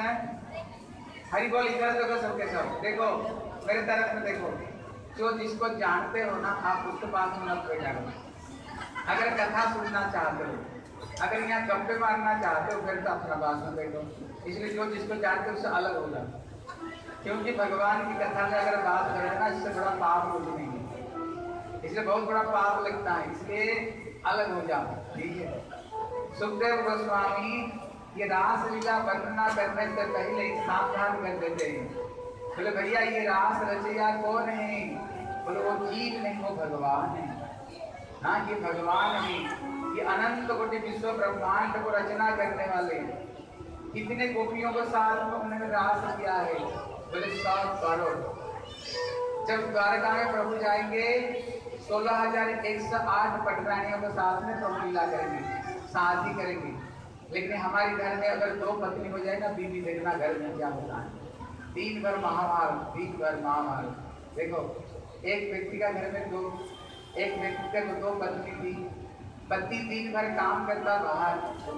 लेकिन जब घर में आता है, सोचता है दिन भर परिश्रम करते हुए घर में साथ चैन मिलेगा। वो चैन क्या घर में बचे रोज घर में महाभारत रोज में वो कहेंगे, इसने मेरे को ऐसे बोल दिया। वो कहते, पहले घर को पहले बोली थी अभी घर में रोज रोज झगड़ा अभी उसने सोचा, क्या किया जाए? रोज घर में परेशानी, बोले, दोनों के लिए दो मंजिली मकान बना दो। एक ऊपर में रहे और एक नीचे रहे, फिर झगड़ा नहीं होगा। अभी जो नीचे रहती है ना, वो पहले से खाना पीना बना करके घर को सामने बैठी रहती है। जब पति काम से आए और उनका हाथ पकड़ करके ज़ोर ज़बरदस्ती अंदर ले जाती है। लेकिन ऊपर जो रहती है, अभी दिन रात परेशान ये रोज रोज उसने एक दिन बड़ी गुस्सा करके खाना पीना बना करके नीचे उतर करके गई बोले, आज मैं बता खाऊं जब पति घर में आए, इतने में बोले, रोज रोज नीचे चले जाते हो, मैं ऊपर बैठी रह जाती ऊपर चलो। अभी हाथ पकड़ करके उनको ऊपर ले जा रही अभी जब नीचे की बोले मैं भी तो खाना पीना बना कर बैठी हुई हूँ। एक में टांग पकड़ ली और एक में हाथ पकड़ ली। अभी दोनों दोनों तरफ़ से खींच रहे अभी कोई छोड़ने के लिए तैयारी नहीं। उसी समय में एक चोर घर में चोरी करने आया था। वो चोरी क्या करेगा नाटक देखने लगेगा हैं? बोले, घर में दो बीवी हो तो घर में कितने? हैं, कैसे नाटक होता है? बड़े तेरे में जब झगड़ा समाप्त तो हुई, देखा घर में चोर बैठा हुआ है। बोले, भैया, ये चोर है। अभी पकड़ करके पुलिस को पास में ले गए। बोले, बताओ उसको क्या सजा दी जाए? देखो, वो चोर क्या कहता है? कहते, मेरे को जो कुछ सजा देना, लेने के लिए तो तैयार ही। है लेकिन एक सजा मेरे को एकदम मत दो बोले, कौन सा सजा? बोले, मेरे घर में कभी दो बीवी नहीं होनी चाहिए। ये सजा मत दिया कर मेरे को, है? इसलिए, लेकिन भगवान कितने गोपियों को साथ में रास किया, सौ करोड़। हर गोपियाँ देख रही थी कृष्ण मेरे पास थी हर गोपियाँ देख रही थी कृष्ण मेरे पास थी हर गोपियाँ देख रही थी। इसलिए श्री सुखदेव गोस्वामी जब रासलीला वर्णना करने जा रहे हैं, बोले, देखो, ये जीव रास नहीं कर रहे ठाकुर जी कर रहे हैं, ये भगवान कर रहे हैं। और ये गोपियों को भी साधारण कोई स्त्री मत समझो। ये गोपियाँ कौन है? बोले, भगवान राम जब दंडकारण्य में गए ये गोपियाँ पूर्व जन्म में ऋषि मुनि थे। गोपाल मंत्र में करोड़ों साल से गोपाल मंत्र में उपासना कर रहे थे। लेकिन मंत्र की कोई सिद्धि नहीं हो रही थी। मंत्र में कोई उत्साह नहीं मिल रहा था। लेकिन जब भगवान राम आए, अभी प्रभु राम को देख कर उनको श्याम की याद आई। तब उन्होंने राम को पति रूप में प्रार्थना की।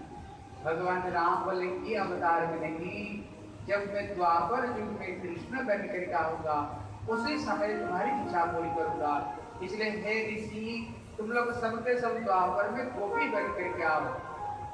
इसलिए उनको ऋषि चरी बताया कहते वेद का कुछ मंत्र था, वो मंत्र भी, वो भी बड़ी कठोर तपस्या की जब कृष्ण संतुष्ट हुए, बोलो, क्या चाहिए? बोले, गोपियों ने जैसे भजन किए, हमें ऐसे भाव चाहिए बोले, नहीं, और कोई चीज़ मांगो, और कोई चीज़ हमें मांगो। बोले, नहीं, हमें वही चाहिए, बोले, ठीक है।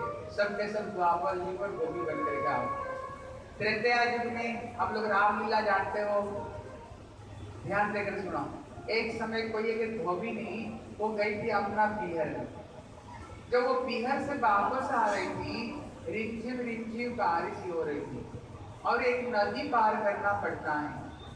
अभी केवट ने मना कर दी, रात हो गया, मैं नदी नहीं पार करा सकता। उसको मजबूर में एक रात वहाँ बिताना पड़ा। जब दूसरे दिन आई, पति ने पूछा तो पिछली रात में कहा थी? बोले, ऐसे ऐसे। बोले, जहाँ पर थी ना, वहीं पर रात थी जीवन बिता।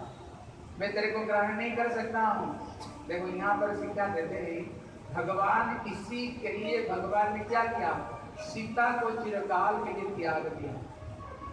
सीता को उन्हें त्याग दिया। बोले, क्यों? धोबी ने बताया, मैं थोड़ी राम हूँ। रावण ने सीता को उठा करके ले गया। एक साल तक लंका में रखा। जब वापस आई, फिर अपना बराबर आसन ले लिया। मैं राम नहीं हूँ, मैं ग्रहण नहीं कर सकता हूँ। लेकिन उसको पता ही नहीं था, वो सीता थी नहीं। रावण जिसको उठा करके ले गया तो सीता ही थी नहीं। आप लोग रामायण देखे होंगे, रावण आने से पहले भगवान अग्नि को बुलाए बोले, हे अग्नि देवता मैं इसी जगह जगत में इसीलिए आया हूँ दुष्टों को संहार करने के लिए और संतों को पालना करने के लिए। जब तक ये राक्षसों को मैं वध नहीं कर देता हूँ, तब तक ये सीता आपकी शरण में रहेगी और सही सीता तो अग्नि में चली गई। वो जो नकली सीता थी, वो आ गई। क्योंकि सीता कौन है? माँ लक्ष्मी है। जगदम्बा जगत जननी रावण सीता को पकड़ेगा क्या? वो सीता को देख भी नहीं सकता है। क्यों? रावण एक राक्षस है। माल सीता वो लक्ष्मी है। शास्त्र में बताया, ये चरण नेत्रों से हम भगवान को दर्शन नहीं कर सकते हैं। उनको दर्शन करने के लिए दिव्य आग चाहिए। लेकिन वो धोबी को ये बात पता ही नहीं था। इसलिए भगवान राम ने जगत में स्त्रियाँ सती बन करके रहे। इसलिए उन्होंने माता सीता को चिरकाल के लिए उन्हें त्याग किया। क्यों? जगत में स्त्रियाँ अपना मर्यादा को रक्षा करे। अभी देखो दुनिया में इतने डाइवोर्स नहीं हो रहा है। फिफ्टी परसेंट भारत में डाइवोर्स है। कारण क्या बोले? कारण यही है। अभी कोई सत्य को रक्षा करने नहीं चाहते हैं। जिसको जिसको साथ में बाई फ्रेंड गर्ल फ्रेंड करके घूमते हैं। जो ऐसे घूमे के बताओ शादी के बाद में कैसे सही रह सकते इसलिए सारी गड़बड़ी चीज़ हो रही है। इसलिए भगवान ने ये चीज़ को शिक्षा देने के लिए ठाकुर के काम है उनने सीता को त्याग दी अभी हर साल उन्होंने एक एक यज्ञ किया अश्वमेध यज्ञ किया। वशिष्ठ जी ने कहा, देखो राम, बगैर पत्नी के तुम अश्वमेध यज्ञ नहीं कर सकते हो। तेरे पिता को तीन शादी की ना? कौशल्या कहीं कहीं सुमित्रा, तुम और एक शादी कर लो। भगवान ने कहा, मैं सीता का सिवाय और किसी को ग्रहण नहीं कर सकता। देखो, भगवान ने शिक्षा देते ही, जब तुम्हारी शादी हो जाए ऐसे शादी कर लिया एक को, और दूसरों के साथ में कहीं घूम रहे हो। भगवान नहीं देते नहीं भगवान जो राम है, वो मर्यादा पुरुषोत्तम है। इसलिए मर्यादा पुरुषोत्तम तब भी कृष्ण लीला में प्रवेश कर सकता नहीं, जब तुम राम लीला को अपनाओगे। जब तक तुम राम लीला को नहीं अपनाओगे, कृष्ण लीला में तुम प्रवेश नहीं कर सकते तुम्हारी अधिकार नहीं है। इसलिए भगवान राम शिक्षा देते हैं, देखो साथी पत्नी को साथ में करो और अपना पत्नी को साथ में ही जीवन बिताओ। दूसरों को साथ में नहीं, है इसलिए भगवान ने ये सब लीला करके ठाकुर की हमें शिक्षा दी। बोले, देखो, फिर क्या किया जाए? और कोई उपाय नहीं, बोले, एक उपाय है। बोले, क्या है? बोले, सोने की सीता बना करके आप अपना पाम पार्श्व में रख करके आप पूजा कर सकते बोले हाँ। ये तो कर सकता हूँ। भगवान राम चार हज़ार साल तक रहे। हर साल एक एक सीता बनती थी सीता बनती थी वशिष्ठ जी इनको प्राण संचार कर देते थे। प्रश्न है, अब इतना सीते सब गए कहा? सब इतने सीते सब गए कहा? पर ये सीते जितने थी ना, ये सबके सब कृष्ण अवतार हैं, ये सबके सब वो भी बन करके आए हैं। भगवान कृष्ण ने सबको उन्हें स्वीकार किया। इसलिए ये जितने सब गोपियाँ हैं ना, इनको कोई लड़की मत समझा करो। ये कोई लड़कियाँ है, कोई ये लड़की नहीं है। ये कठोर तपस्या करके हम अभी सुनेंगे, शंकर भी गोपी बन करके आते हैं। क्या कृष्ण कृष्ण के साथ भोग करने के लिए नहीं। ये जो गोपी शब्द है गो मतलब होता है इंद्रिया, और पी मतलब होता है पीना। मतलब है जो नित्य, निरंतर अपना इंद्रिय को द्वारा कृष्ण भक्ति रस को जो पान करती वो गोपियाँ इसलिए हम लोग जो भजन कर रहे हैं ना, जानते हो क्यों? ये गोपी स्वरूप आने के लिए। ब्रह्मा भी गोपी देह प्राप्त करने के लिए साठ हज़ार साल ब्रह्मा जी तपस्या की। उद्धव भी घास बन करके तपस्या कर रहे बोले, क्यों? बल्कि गोपी शरीर का हमें प्राप्त हो। नारद भी, नारद जी और गोपी बन करके श्री गिरिराज तलते में तपस्या कर रहे हैं। ये सबके सब गोपी रूप में प्रभु को पाना चाहते क्यों? ये जो गोपियाँ है ना गोपियाँ कोई स्त्री विशेष नहीं ये गोपी एक भाव विशेष है। एक, ये भाव विशेष है। इसलिए ये गोपियाँ कोई लड़की नहीं इनको कोई लड़की बड़की मत समझो। नहीं तो शंकर ब्रह्मा क्यों गोपी शरीर को प्राप्त करना चाहते हैं? इसलिए श्री सुखदेव गोस्वामी यहाँ सावधान कर देते हैं। बोले सावधान जो रास रचेगा ये कोई जीव नहीं ये भगवान ये रास करने के लिए ये भगवान जा रहे हैं। इनको ऊपर में कोई अंकुल नहीं उठाना। इनको ऊपर कोई अंकुल नहीं उठाना। हमारे संप्रदाय में एक संत हुए जो सर्वप्रथम ये भागवत टीका को जिन्होंने लिखा, उनका नाम श्रीधर स्वामी सबसे पहले ये टीका लिखे साधारण लोग का जो भावना है, अरे ये कृष्ण किया सब लड़कियों को लेकर नाच नचाए लेकिन वो कहते हैं बोले नहीं ये जो रासलीला है ना, भगवान की काम विजय लीला। देखो, सुंदर मुझे का प्रश्न है बोले एक दिन श्री काम देव की मन में बड़ा अभिमान आया। बोले, किस चीज़ के अभिमान है? बोले, ये पृथ्वी को मैंने जीत लिया है।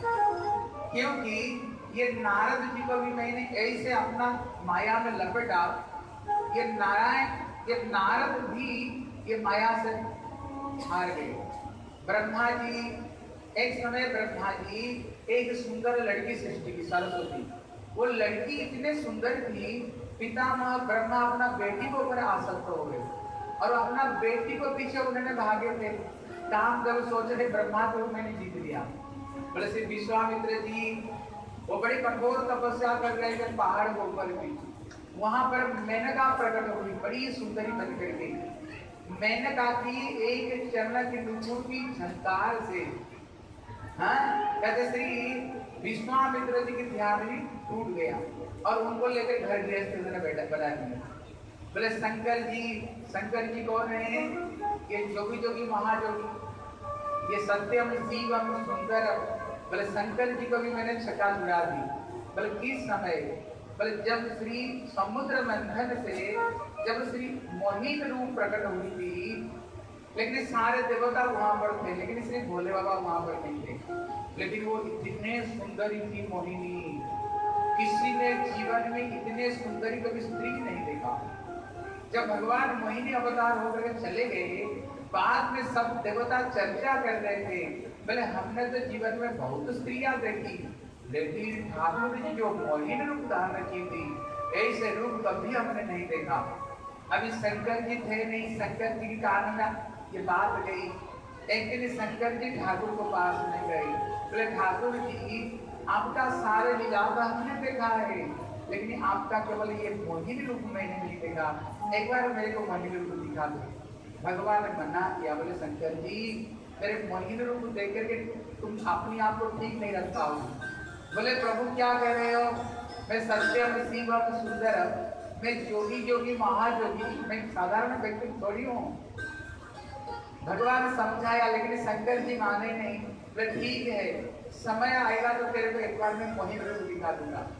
एक दिन शंकर जी जंगल में अपना त्रिशूल को गाड़ करके माँ पार्वती को गोद में बैठा करके बैठे हुए थे। जब माँ पार्वती बहुत ही सुंदर है। बहुत ही सुंदरी पार्वती है इसलिए शंकर जी कभी कभी कहते हैं सुमुखी मतलब हे सुंदर मोह वाली पार्वती, उसकी बिगड़ नयन है पार्वती बड़ी सुंदरी है। उन्होंने उनको गोद में लेकर बैठे हुए थे। शंकर जी जहाँ त्रिशूल गाड़ रहे ना, वहाँ से उठते नहीं कभी। भगवान, इतने में जंगल में भगवान मोहिन रूप धारण किया। सुंदर एक कुंज से ठाकुर प्रकट हुए मानव दीन में कोई चंद्रमा प्रकट हो गया। क्या सुंदर ठाकुर जी के रूप। और उन्होंने केंद्र को उछालते हुए ठाकुर जी प्रकट हुए। इतने में मोहिनी ने शंकर जी जब मोहिनी रूप को देखे ना, पार्वती गोद में बैठ गई भूल गई पार्वती गोद में बैठ गई। और मोहिनी ने थोड़ी सी इशारा की। इशारा करते ही पार्वती को तो धक्का मारकर फेंक दी। और उन्होंने मोहिनी को पीछे भगे। और मोहिनी को पकड़ ही ये देखा वहाँ नहीं, दूसरे जगह पर। पूरा शंकर जी को उन्होंने जंगल जंगल में घंटा दिए। और शंकर जी पूरा नंगे हो गए शंकर जी। इतने में शंकर जी थोड़ी देर बाद में देखा, बोले, ये क्या मैं नंगे होकर घूम रहा हूँ? इतने में शंकर जी जल्दी जल्दी आ गए ना, फिर चुपचाप बैठ गए। शंकर जी सोच रहे थे शायद किसी ने देखा नहीं। इतने में ठाकुर जी प्रकट बोले, क्यों भले? क्या बात है? इतने में शंकर जी कहते, प्रभु आपकी माया, मैं तो सोच रही थी आपकी मोहिनी रूप को देख करके मैं धीरज धारण करूँगा पर मैं पागल हो गया हूँ। हाँ जगत में ये बता सकता हूँ, भगवान की जो मोहिनी रूप ऐसे है, मैं सभी का रूप में आकृष्ट नहीं हुआ, भगवान की माया में मैं आकृष्ट हुआ। इसलिए श्री कामदेव सोच रहे हैं, मैंने बड़े बड़े पहलवान को मैंने छका छुड़ा दी, लेकिन एक व्यक्ति केवल बाकी रह गया, बोले कौन बोले कृष्ण। अगर कृष्ण को मैं परास्त कर दूँ ना सारा दुनिया मेरे हाथ की बुद्धि में आ जाएगी। एक दिन भगवान के पास में काम देव गए, बोले, प्रभु, मेरे हाथ में दो हाथ कर लो। मेरे हाथ में दो हाथ कर लो। मैं सबको परास्त कर दिया, केवल आप ही बाकी रह गए। कृष्ण ने कहा, कोई चिंता मत करो। मैं द्वापर युग का अंतिम में, मैं कृष्णा अवतार रूप में जब आऊँगा, फिर तेरे साथ में मैं घर में युद्ध करूँगा। काम पे वो बोले, क्या? कृष्णा अवतार में रासलीला में जहाँ पर सत्य करोड़ों गोपियाँ रहेगी, हैं? जहाँ पर स्वयं राधा रानी रहेगी। देखो, ध्यान देकर सुनो कहती ये गोपियाँ कितने सुंदर इस के बारे में सुनो। ये गोपियाँ कितने सुंदर कहती ये पृथ्वी में जितने स्त्रियाँ हैं, अगर इनकी सुंदरता को आप एकत्रित कर लो, ये पृथ्वी में जितने सुंदर स्त्रियाँ हैं जितने हीरोइन सब के सब कहते इनकी सुंदरता को एकत्रित करो कहते स्वर्ग में जो अप्सरियाँ होती है ना रंभा उर्वश मेनका जिनको कहते हैं, इनकी सारे रूप एक रंभा उर्वश मेनका के साथ होता है। स्वर्ग में जो अप्सरियाँ हैं कहते स्वर्ग में जितने सारे अप्सरियाँ हैं इनके रूप का सुंदरता को एकत्रित करो। वो होता है, एक लक्ष्मी को साथ में बराबर है। जितने अनंत करो जितने लक्ष्मियाँ हैं कहते इनकी सुंदरता को एकत्रित कर दो, एक एक गोपी के रूप का साथ बराबर होता है। एक एक गोपी कितने सुंदर है। कहते इनकी सारे सुंदरता को एकत्रित कर दो ना। कहते राधा रानी जितने सुंदरी कहते राधा रानी की चरण की नख की जो छटा है, राधा रानी की चरण की नख की जो छटा है ना, उसको साथ में भी ये अनंत कर्ण गोपियों की सुंदरता को बराबर नहीं कर सकते। इतने राधा रानी, इतने सुंदरी, हैं? इतने सुंदरी।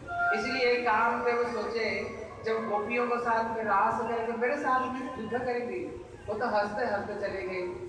अभी कृष्णा, अभी बंसी बट के नीचे कृष्ण खड़े होकर के, उन्होंने बड़ी मीठी मीठी उन्होंने बंसी बजाए लेकिन बंसी ध्वनि से उन्होंने कौन सा शब्द निकली? बोले, क्लीन शब्द।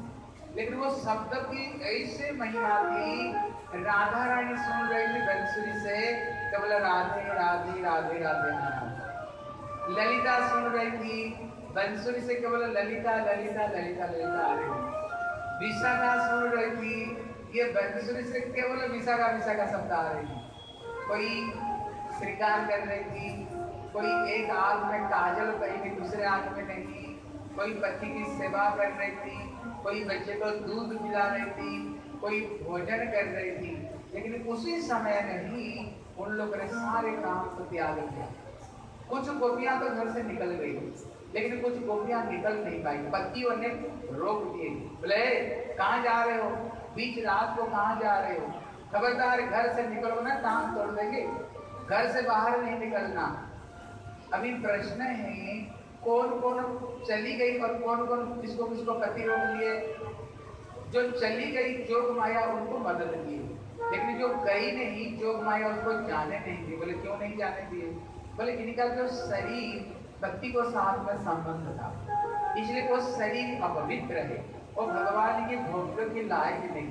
इसलिए जोग माया उनको घर से बाहर निकलने नहीं इतने में वो जो बाहर निकलने नहीं दी वो कृष्ण विरह में ऐसे व्यतीत हो गई। कृष्ण विरह में इतने उत्कंठा हुई उनने कृष्ण विरह में वहीं पर शरीर को त्याग दिया। वहीं पर त्याग देकर आत्मा शरीर में ये सब के सब कृष्ण को पास में चली गई। क्यों? उन्होंने विरह में उनका जितना अशुभ था, जितने दुर्गुण था, विरह में नष्ट हो गया।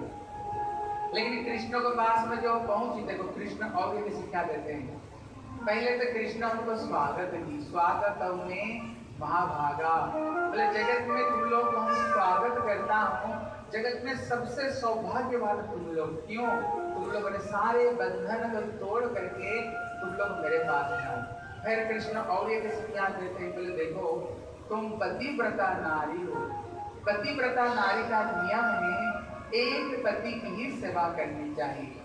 तन मन सब कुछ एक पति को चरण में दे देनी चाहिए। देखो, ये अंधकार रात है। अंधकार रात में पतिव्रता नारियों को घर से नहीं निकलनी चाहिए। देखो, कृष्ण ये शिक्षा देते हैं कैसे नहीं रात में अपना स्कूटी पकड़े। बेटी कहाँ जा रहे हैं? बेटा कहाँ जा रहे हैं? बहू कहाँ जा रहे नहीं, भगवान मना करते हैं। भगवान शिक्षा देते हैं रात को इसलिए स्त्रियों को शास्त्र में बताया, हर समय जब बचपन में हो, अपना पिता माता के अधीन में रहे। जब बड़े हो जाए, शादी करके अपना पति के अधीन में रहने चाहिए। और जो बूढ़ी हो जाए, तब क्या करे, अपना बेटे को अधीन में रहने चाहिए। शास्त्र ये निर्देश करता है। तभी हमारी इज़्ज़त रक्षा होगी। लेकिन नहीं तो क्या होगा, नहीं तो रावण उठा कर ले जाएँगे। नहीं तो रावण जैसे माता सीता ने लक्ष्मण रेखा को पार की, फिर क्या हुआ? रावण उठा करके ले गया। इसलिए शिक्षा देते हैं स्त्रियों को, अपना मर्यादा से कभी भी बाहर नहीं जानी चाहिए। कभी भी बाहर नहीं जानी चाहिए। कृष्ण यही सीखा उन्होंने गोपियों को बोले, देखो, तुम लोग इन घोर अंधकार रात में कैसे आ गई हो? इसलिए घर में चली जाओ घर में वापस जाओ। इसलिए पति प्रता नारी हो पति प्रता नारी हो पति की सेवा करनी चाहिए। भले ही पति जैसे क्यों नहीं हो, लकड़े बूढ़े डिप्लोमा क्यों नहीं हो, तुमको पति की सेवा में ही अपना जीवन को बितानी चाहिए। इतने में कृष्ण ने गोपियों को स्टोरी सुनाया। बोले, देखो, जो स्त्री पति व्रता धर्म जागरण करती है, इतने शक्ति पति व्रता धर्म में। बोले, एक समय दो पति पत्नी रहती थी। पहले तो जो रोसे करता था चूल्हे में कंडे में नहीं तो लकड़ी में। थोड़ी देरी पहले पत्नी ने, चूल्हे में, उन्होंने रसोई बनाया अब उसमें आग धधक रही अब उसको घर में एक छोटा बेटा, जो केवल घुटन पर चलना सीखा। अभी वो बच्चा सो रहा था। उसकी जो पति था, पत्नी की जंघे के ऊपर सर रख करके सो रहा था। इतने में बेटा का नींद खुल गई। खुल गई तो वो बेटा धीरे धीरे घुटन पर चलते चलते वो जा रहा है, जो चूल्हा जल रहा है ना, वो चूल्हे को पास में पहुँच गया। अभी तो उसको जो पत्नी थी घबरा गई। बोले, अभी क्या करनी चाहिए? अभी तो बेचा चूल्हे में गिर पड़ेगा। बोले, अभी मेरी पत्नी मेरे जगह को, मेरे सर रख करके सो रहे हैं। अगर मैं बच्चे को रक्षा करने के लिए जाऊँगी, पति जो सो रहे हैं, इनका नींद खराब होगा। मैं एक पति प्रता नारी हूँ। पति प्रता नारी का धर्म है, पति की सेवा करनी चाहिए।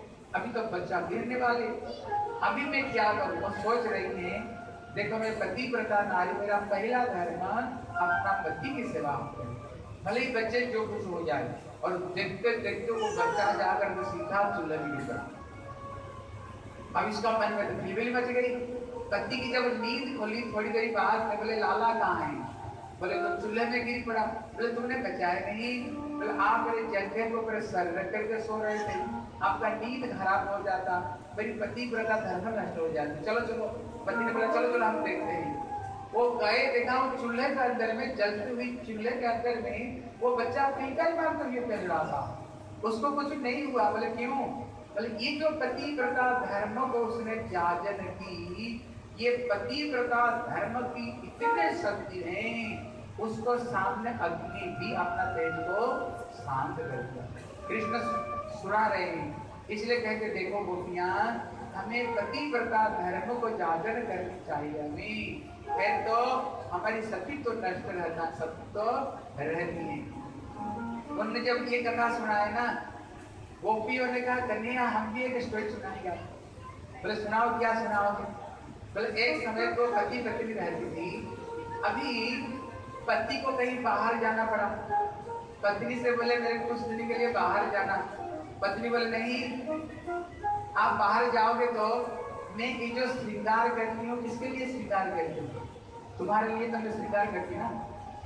ये जो खाना बनाती हूँ किसके लिए तुम्हारे लिए तो खाना बनाती हूँ। ये जो बिस्तरा सजाती हूँ किसके लिए तुम्हारे लिए तो बिस्तरा सजाती हूँ। जो कुछ करती हूँ, तुम्हारा लिए। अगर तुम चले जाओ तो घर में किसके लिए करोगी? बोले, देखो, कोई ज़रूरी काम के लिए तो जाना पड़ेगा। बोले, देखो, मैं अपना के फ़ोटो दे देता हूँ। जब तक नहीं आता हूँ ना, इस फ़ोटो को तुम पूजा करते रहे। बोले, ठीक है। अभी पति चला गया। अभी फ़ोटो को ही पूजा करती हूँ। अभी कुछ दिन बाद में पति आए। जब पति आया, अभी दरवाज़ा खटखटाया अभी गोपियाँ कहती हैं, कृष्ण, अभी बताओ, स्त्री को क्या करनी चाहिए? बोले, भैया, जब पति आ गई जब पति आ गए, भाई, पति को सेवा करो। बोले, कृष्ण, तुम ही तो बताया, जगत पति कौन हो? जगत पति तो तुम है ना?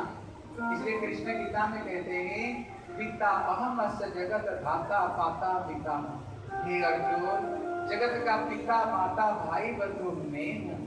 इसलिए जो व्यक्ति मेरे शरण में आ जाते हैं सर्व धर्मान परित्यज माम एकम शरण ब्रज जो व्यक्ति मेरे शरण में आ जाते हैं उनका सारे पाप नष्ट हो जाता है। उनका सारे पाप नष्ट हो जाता है। उसको सारे पापों में मुक्ति दिला देता हूँ। तुमने तो में बताया। इसलिए तुमने हमने बंसी ध्वनि करके बुलाया।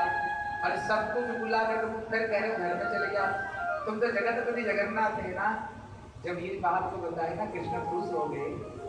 गोपियों ने कहा, देखो, तुमने जो इतने सुंदर सुंदर उपदेश दिए हो, फिर तुम गुरु हो गए।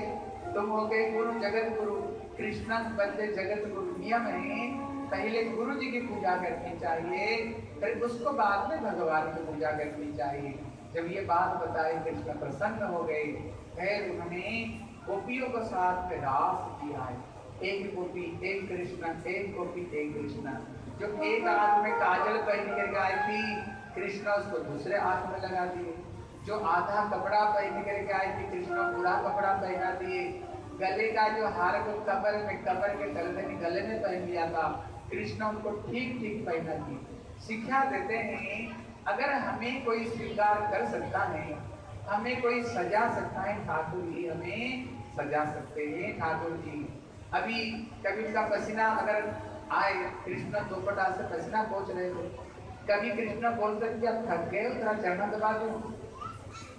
गोपियों को तो ऐसे लगा पृथ्वी में सबसे ज़्यादा सौभाग्यवान नाम गोपियों को यही नहीं दिख रहा था, कृष्ण हर गोपियों को साथ में एक एक उनको ये लग रहा था कृष्ण केवल हमारे पास में लेकिन केवल राधा रानी देख रही थी, कृष्ण मेरे पास में और कृष्ण सबको पास में इतने में गोपियों के अंदर में सौभाग्य सौभाग्य सौभाग्य मतलब है, देखना, स्त्रियों में के दोष है, माताओं में के दोष। जानते हो क्या तुम लोग दोष हो?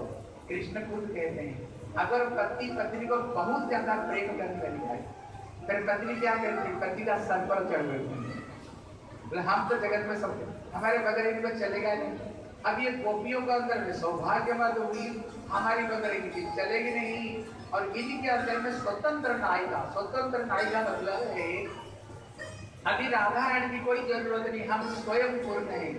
कृष्ण ने देखा, गड़बड़ी हो गई। बोले, क्यों? बोले राशेश्वरी कौन है बोले, श्री राधा रानी ये राधा रानी राशेश्वरी यही मूल है।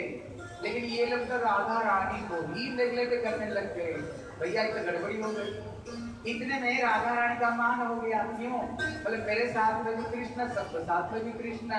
अरे, ये गोपियाँ मेरे को नेग्लेक्ट कर रही बोले इनके बगैर सब काम हो जाएगी। इतने में राधा रानी राम छोड़कर चली जाती है। जब चली गई, इतने में कृष्ण, सब गोपियों को कृष्ण त्याग दिए। त्याग दे करके थोड़ी दूर गए। एक एक कुंज में बड़ी सुंदर एक श्यामा सखी का रूप धारण किया। बड़ी प्यारी। हाँ श्यामा सखी बन गए। बोले, एक काम करो, हम दो दो हो करके कृष्ण को ढूंढते हैं। इतने में कृष्ण राधा जी के हाथ पकड़ लिए राधा जी को पता ही नहीं चला वही काला ये है। अभी राधा रानी को उन्होंने हाथ पकड़ कर कुंज में ले गए और राधा रानी को सुंदर रूप में फूल को द्वारा राधा जी को श्रृंगार उन्होंने किया है। इसलिए वृंदावन में एक स्थान है उसका नाम श्रृंगार बट है। जिस वृक्षों को नीचे कृष्ण गोपियों को, राधा जी को उन्होंने श्रृंगार की थी। श्रृंगार करते समय इधर क्या हुआ? जैसे हाथी हाथी को छोड़ने पर जैसे बदवाला हो जाती है, ऐसे तो गोपियाँ एकदम भागरी बन गई। कृष्ण विरह में उन्माद ग्रस्त हो गई। उन्होंने लता, पता वृक्षों को पूछ रहे थे हमारे श्याम सुंदर के कहीं देखे हो?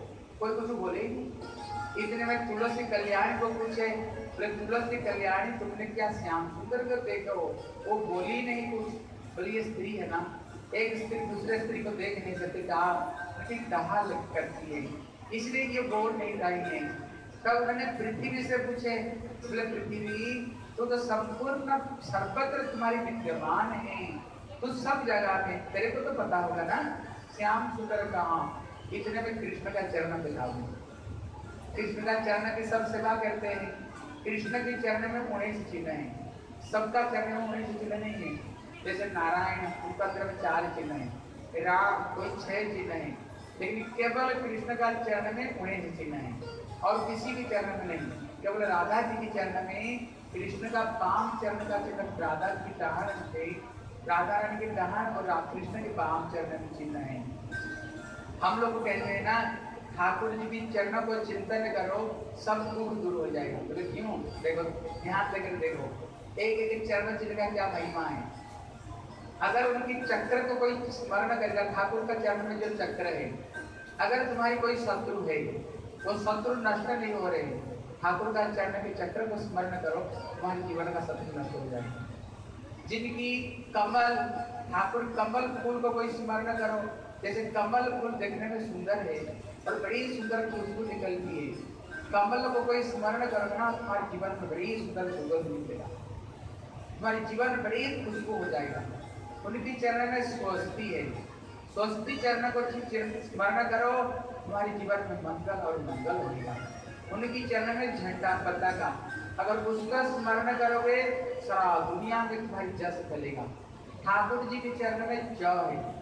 जौ अगर गेहूँ जैसे कर दो। अगर उसको स्मरण करोगे जिसके घर में पैसा, रुपया पैसा की कमी है घर में लक्ष्मी नहीं है कहते वो चिन्ह को स्मरण करो, घर में खूब लक्ष्मी आएगी घर में खूब माल आएगी घर में खूब पैसा आएगी इसलिए शास्त्र में बताया, हम कहते हैं ना, ठाकुर जी के चरण को चिंतन करो, तुम्हारे जीवन का सारे दुख दूर हो जाएगा। क्यों?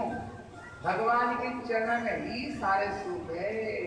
अशोक, अभय, अमृत आधार, तुम्हारे चरण है ठाकुर जी के चरण में अशोक, अभय और अमृत है ठाकुर जी के चरण में, इसलिए उन्होंने देख करके तो पहचान गई अरे, ये तो श्याम सुंदर का चरण चिन्ह और थोड़ी दूर गए ना दोनों चरणों के बीच में और एक छोटी चरण थी बड़ी प्यारी। सुखदेव गोस्वामी यहाँ पर कहते भैया ये चरण चिन्ह किसकी है? बोले, सुखदेव गोस्वामी कौन है? बोले, प्रिया सुखश्री वृषभाव जो राधा रानी की चरण की सेवा करने वाली इसलिए राधा जी के चरण में जो चिन्ह उनको पता है इसलिए उन्होंने चरण चिन्ह को देख करके बोले भैया यही सखी ही पूर्ण रूप में उन्होंने कृष्ण की सेवा की। इसलिए कृष्ण सबको छोड़ करके केवल इन्हीं को ही लेकर गए। वो कौन है? श्री राधा रानी। तो श्रीमती राधा रानी की जय जय।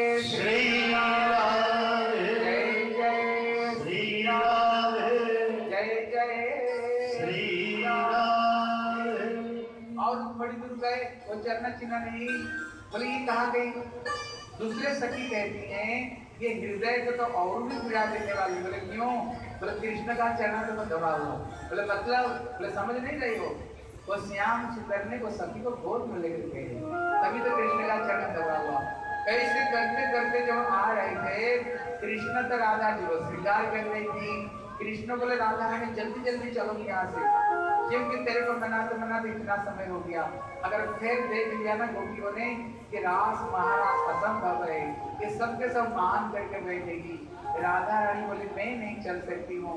जहाँ लेना मेरे को गोद में उठा लो। बोले, गोद में बैठे तो बोले, चलो। जब बैठने के लिए गई कृष्ण वहीं अंदर ध्यान हो गए और राधा रानी वहीं पर बेहोश हो जाती है। इतने में सखियाँ ढूंढते ढूंढते वहीं पर आए। फिर राधा रानी को होश दिलाया। हमने देखो, कृष्ण का उसका भजन बहुत प्यारा है। चलो, हम यमुना किनारा में बैठ करके उसका भजन गाएँ देखो, इसका नाम है गोपी गीत। ये गोपी गीत में इतने शक्ति है, अगर कहीं भी ये गोपी गीत गाई जाएगी ना, भगवान रह नहीं सकते। हैं अगर आप लोग, जैसे इधर उधर का बहुत सारी स्तुति करते हो, लेकिन वो सारे स्तुति छोड़ करके ये गोपी गीत गाओ। क्योंकि कृष्णा अगर घर में आ गए ना, ठाकुर जी, घर का सारे दुखों का खत्म हो जाएगी। क्योंकि भगवान के अंदर भी ये सब जितने अवतार, जितने तैतीस करोड़ देवता ठाकुर जी के अंदर भी, सारे तैतीस करोड़ देवता देवा देवी और जहाँ पर श्री राधा रानी गोपियाँ, जहाँ पर गोपी गीत गाती राधा, गोपी, कृष्णा आगे, सारे काम हो गया इसलिए उन लोगों ने जमुना किनारा में बैठ कर के गाय बोले, क्यों? उसका दो कारण बताए। बोले, ये यमुना है ये भगवान की ये पाटरानी है, हैं? तब ये ब्रह्म, द्रव्य का द्रव ये यमुना साधारण नहीं, ये यमुना राधा कृष्ण को मिलन कराने वाली यही यमुना है। बोले, कैसे मिलन कराए? हाँ एक छोटा स्टोरी सुनो बोले, एक समय राधा रानी कृष्ण को बोले बोले, कृष्ण, मैं तो मान करती हूँ, तुम मेरे को हर समय मनाते हो। आज तू मान कर आज मैं तुमको मनाऊँगी। राधा रानी कृष्ण बोले पुरुषों लोग थोड़ी मान करते मान तो स्त्रियाँ करती है, पति लोग मनाते बोले, मैं तो मान करती हूँ, लेकिन आज तुम मान कर ना, आज मैं तुमको मनाऊँगा बोले, ठीक है, अभी कृष्ण मान करके बैठेंगे देखो, कोई व्यक्ति सोता हुआ हो ना, आप उसको जगा सकते हैं। लेकिन जो जान बूझ कर जो सोया ना, आप उसको नहीं जगा सकते कृष्ण का तो मान करने का कोई मतलब ही नहीं था। वो तो झूठ मूठ का मान किए। अभी राधा रानी मनाते मनाते हार गई और कृष्ण किसी तरह से मान नहीं रहे। राधा रानी बोली हे भगवान मैंने क्यों बोलो, मान करो। भाई, मान के मान ही नहीं रहे हैं। इतने में श्री यमुना के पास में गए। यमुना बोले मैं तो चुटकी बजा तो भी अपनी मान को उतारो। बोले हाँ बोले हाँ। बोले, उतारो। इतने में यमुना की जो रंग है ना देखना काली है। इसलिए यमुना के एक नाम काली थी। काली ने मतलब किया? उसका जो रंग है, श्याम, कृष्ण का रंग है। जैसे अभी देखना, एक लड़की को अगर आप लड़का बनाओ ना, वो लड़का से भी ज़्यादा सुंदर है। अभी काली बड़ी सुंदरी है, हैं, बड़ी प्यारी यमुना। अभी उसने एकदम लड़की को उन्होंने स्वीकार की और मुकुट धारण की और कृष्ण की जैसे दोपटा, और उन्होंने पीताम्बर धारण कर ली। इतने सुंदर लग रही थी काली जैसे कृष्ण भी उसके सामने फैल गए इतने में जब काली थी कृष्ण बन करके आ गए, कृष्ण, राधा रानी की कितने सखियाँ थी ना, बोले भैया, ये तो कृष्ण से भी ज़्यादा सुंदर लग रही है। और कृष्ण जब देखा, बोली, भैया, ये कौन है? ये तो मेरे से भी ज़्यादा सुंदर लग रही है। क्या हमने जमज संतान जन्म लिया था? भैया ने मेरे को बताया नहीं, छुपा के रखी इतने में जितने सखियाँ थी ना, वो असली कृष्ण को तो छोड़ दी और नकली कृष्ण को पीछे चले गए। कृष्ण तो अकेला हो गए, बोले, ये क्या हो गया? कृष्ण समझ गए, काल में जो काला है। कृष्ण ने कहा, देखो, तुम भी कृष्ण, मैं भी कृष्ण। बोले हाँ। बोले, मेरे से मेरे से गले में, गले से मिलनी चाहिए। मेरे हम दोनों बंधु है। जब कृष्ण, जब काली से मिले, फिर उनको पता चला, वो कृष्ण नहीं, लड़का नहीं, वो लड़की है। अब इतने में कृष्ण का मान उतर गया। इसलिए जो कालिक थी, ये राधा कृष्ण को उन्होंने मिलन करा बोले, चलो, हम जा करके यमुना किनारा में हम उनका कीर्तन करेंगे उसका नाम गोपी गीत है। हम लोग दो तीन श्लोक सुन लो। भागवत में जो गोपी गीत है ना? इसकी बड़ी महिमा गोपी गीत की बड़ी महिमा। गोपी गीत आप लोग घर में सबके सब गोपी गीत को पढ़ा करना ठीक है? सुंदर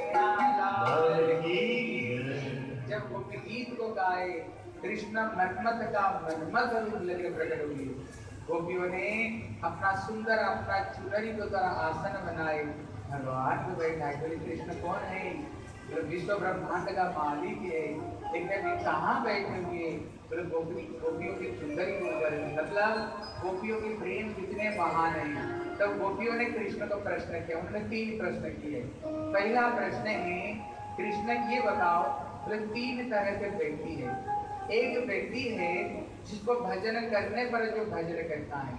दूसरे तरह का व्यक्ति करो, मत करो, तभी करता है। तीसरे तरह का व्यक्ति करो, मत करो, नहीं करता है। बताओ तुम तीनों में कौन हो? वो कृष्ण ने कहा, देखो, जो भजन करने पर जो करता वो बढ़िया। जैसे आप सौ रुपया लेकर किसी दुकान में गए, सौ रुपया दिया, सौ रुपया की सामान ले लिया। यहाँ पर कोई प्रेम करने की बात नहीं है। कहते, दूसरा नंबर पिता माता। करो मत करो तभी करते हैं। मतलब है, पिता माता की ऐसे स्वभाव है, भले ही बच्चा जितने नालायक नहीं बन जाए, क्यों नहीं बन जाए?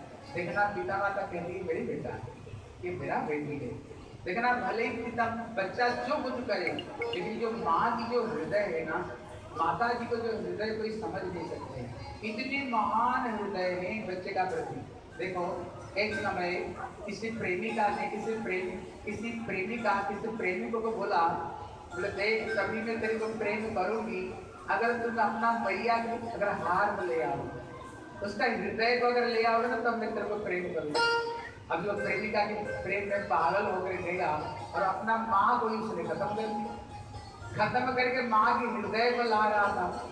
लाते समय कितने में, रास्ता में कहीं उन्होंने गिर पड़ा हाँ? ठोकर कहाँ कर कोई गिर पड़ा? जब गिर पड़ा तो माँ की हृदय से आवाज़ आ रही थी। बोले, बेटा, कहीं चोट तो नहीं लग गया तेरे को? तेरे को कहीं चोट तो नहीं लगा? मतलब माँ की जो हृदय है ना, हम समझ नहीं सकते माँ की हृदय कितने महान इसलिए नियम है पिता माता की हमें सेवा करनी चाहिए। ऐसे नहीं घर में बहू आ गई। और बहू की बात सुन करके और पिता माता की सेवा छोड़ दी नहीं कभी नहीं करनी चाहिए। हाँ देखो, जो घर की, जो जो घर की बहुएँ हैं, आप लोग ध्यान देकर सुना कभी भी एक दिन बहुओं को भी एक दिन सांस भरना पड़ेगा पड़ेगा कि अगर हम जैसे अपना सांस की सेवा करेंगे, पिता माता की, हम भी तो अपना बहुत सेवा करेंगे। अगर हम स्वयं नहीं करें, फिर हमें कैसे अपना बहू, हमें कैसे सेवा करेगी वो कर ही नहीं सकती है। इसलिए नियम में अपना सास ससुरों की सेवा करनी चाहिए, पिता माता की सेवा करनी चाहिए। हाँ दूसरी चीज़ समझो। कभी कभी देखना, घर में सास बहू सबसे सब लड़ाई है। ये अभी के नहीं से से द्वापर युग की बात है। सास बहुत की लड़ाई देखो, ध्यान देकर सुनो। कभी कभी घर में जो बहू आ जाए ना कभी कभी क्या करते हैं, माता है, घर का जितने सारे काम बहू को दे देते, तुम भी सारे काम कर। नहीं कभी कभी उनके काम में हाथ भी बटवा देना चाहिए। हाथ बटवा देनी चाहिए। चाहिए कि नहीं चाहिए? इसलिए घर में जब बहू आए, उसको बहू रूप में मत देखो, अपना बेटी रूप में देखो। कैसे देखनी चाहिए? अपना बेटी रूप में देखे। और जो बहू हैं, सास को सास रूप में नहीं, अपना माँ के रूप में देखो। फिर घर, बस घर खोलो तो वृंदावन बन जाएगी। फिर घर में कोई लड़ाई का भी बात नहीं। कोई लड़ाई नहीं होगी। लेकिन यहीं पर कमी रह जाती है। बहू का हमने बहू, बेटी रूप में नहीं देखकर बहू रूप में देखते हैं। इसलिए गड़बड़ी है। ठीक है ना? इसलिए हर समय अपना पिता माता की सेवा हमें करनी चाहिए। और सवेरे उठ करके क्या करनी चाहिए? सवेरे उठ कर क्या करनी चाहिए? पहले पिता माता की हमें चरण छूनी चाहिए। क्या करनी चाहिए? कितने लोग चरण छूते हो? सवेरे उठ करके पिता माता कितना लोग चरण छूते हो? बोलो कितने देखो, कोई हाथ नहीं गिरा मतलब कोई भी पिता माता की चरण देखो एक बटा देखो मतलब दूसरे भैया है।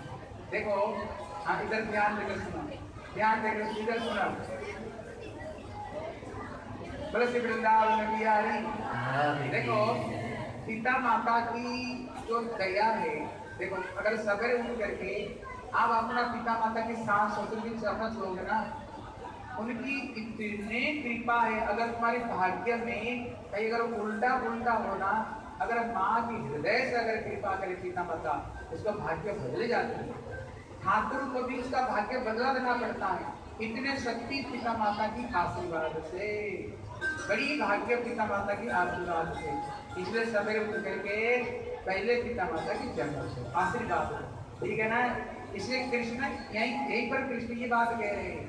कहते पिता माता के हृदय इतने महान हैं, बच्चे जितने नालायक क्यों हो जाए। लेकिन इनकी हृदय में रहता ये मेरे बेटा है, ये मेरी बेटी है, ठीक है? कहते जो चौथे नंबर है, तीसरे नंबर में, करे नहीं करे तभी करते हैं, करे नहीं करे तभी, कहते वो चार तरह के होते हैं आत्माराम आपका गुरुद्रोही और अकृतज्ञ हैं बोले कृष्ण, तू तो आत्माराम आत्माराम है ही नहीं तो अकृतज्ञ अकृतज्ञ मतलब होता है जो किया हुआ भलाई को जो भूल जाए। बोले, तुमने बंसुरी बजा करके हमें बुलाया अर्धरात्रि में। हमने सारे सब कुछ छोड़ करके यहाँ पर आए। और तुमने हमें ये घोर अंधकार रात में छोड़कर कहाँ चला गया तुमने? लगता है तुम तो अकृतज्ञ हो तुम हैं? जब उन्होंने ये बात को बताई कृष्ण को नहीं। हमें ऐसे मत समझा करो। हरे कृष्ण, देखो, इधर इधर देखो। देखो ये सामने जो बैठे हो ना गड़बड़ी गड़बड़ी कर रहे हो। चुपचाप यहाँ पर बैठो बोला श्री कृष्ण क्या कर रहे हो? कथा सुन रहे हो ना बात कर रहे हो? चुपचाप यहाँ बैठो। आज कथा की विश्राम कर है। इसलिए बोले श्री वृंदावन बिहारी लाल की जब उन्होंने ये बात को बताए कृष्ण ने कहा देखो मेरे को ऐसे दर्शन समझो प्रेम का दो पहलू है। एक विरह और एक मिलन है क्या होता है, मिलन में ऊपर ऊपर से तो मिलते हैं लेकिन अंदर से होते हैं लेकिन विरह में क्या होता है देखना जैसे पति दूर देश में दो साल, पाँच साल में कहीं आए देखना पत्नी दिन भर पति को याद करती है। कब आएँगे, अभी पत्र नहीं आया याद अगर घर में पति अगर रहते हैं हैं, पहले तो लगता है ये चंद्रमुखी। कुछ दिन बाद में लगता है ये सूर्यमुखी, फिर ज्वाला होगी फिर तो लड़ाई झगड़ा शुरू हो जाती है। पति एक बोले पत्नी दो पत्नी दो बोले पति, चार, है? अगर पति बोलेगा ग्लास पानी उठा कर दे दो बोले उठा कर पी नहीं सकते। इसलिए कृष्ण कहते हैं, देखो गोपियाँ, तुम्हारी प्रेम को दुनिया में दिखाने के लिए ना मैं गया था, लेकिन मैं कहीं नहीं गया था।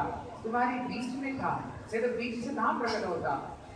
दुनिया को दिखाना चाहता था भाई प्रेम में तुम कितने दीवानी बनते हो? मेरे को ऐसे मत समझा करो। मैं तुमको तो छोड़कर कुछ नहीं जानता हूँ। फिर भगवान ने दिव्य महाराज उन्होंने की, एक गोपी, एक कृष्ण, एक गोपी, एक कृष्ण की, सारे देवतालों का आकाश मार्ग से आ गए वाद्य बजा रहे थे बीणा बजा रहे थे, मृदंग बजा रहे थे, और भगवान गोपियों को साथ में रास रचा रहे थे। इतने में स्वयं भोले बाबा भी आए, शंकर जी भी आए, लेकिन वहाँ पर पौर्णमासी जोग माया बोले देखो यहाँ पर तो कृष्ण अकेले पुरुष है, कोई स्त्री यहाँ है, या केवल और कोई पुरुष नहीं, सब गोपियाँ हैं। आपको गोपी रूप धारण करना पड़ेगा। शंकर जी ब्रह्म कुंड में स्नान किया, बड़ी सुंदर गोपी बनी। बोले, किसान कुंड में बैठ करके रास देखो। लेकिन कृष्ण घटघटवासी, बोले, रास में कहीं आनंद नहीं आ रहा है। लगता है कोई अनधिकारी तो कोई नहीं घुस गया। इतने में गोपियों ने ढूंढते ढूंढते शंकर जी से मिले। बोले, भैया, तेरे खसम का नाम क्या है? तेरे जेठ का नाम, तेरे सस- ससुर का लेकिन वो तो गोपी नहीं, वो तो गोप है, वो तो क्यों? बोले, भैया, यही कहीं से आ गया, उसको कभी कभी देखो ही ना। कुंज से निकाले, इतने में श्री शंकर जी भगवान को पुकारे, जोग माया को। इतने में जोग माया, कृष्ण आ गए। बोले, भोले, तुम तुम कैसे आ गए? बोले, प्रभु, तुमने बंसुरी बजाए ना, ये बंसुरी भूल भूगम मोहन सारे लोग को पार कर हुए पहुँचा, कैलाश लोक में। मेरे मन में भी इच्छा हुई तेरी रास दर्शन करने के लिए।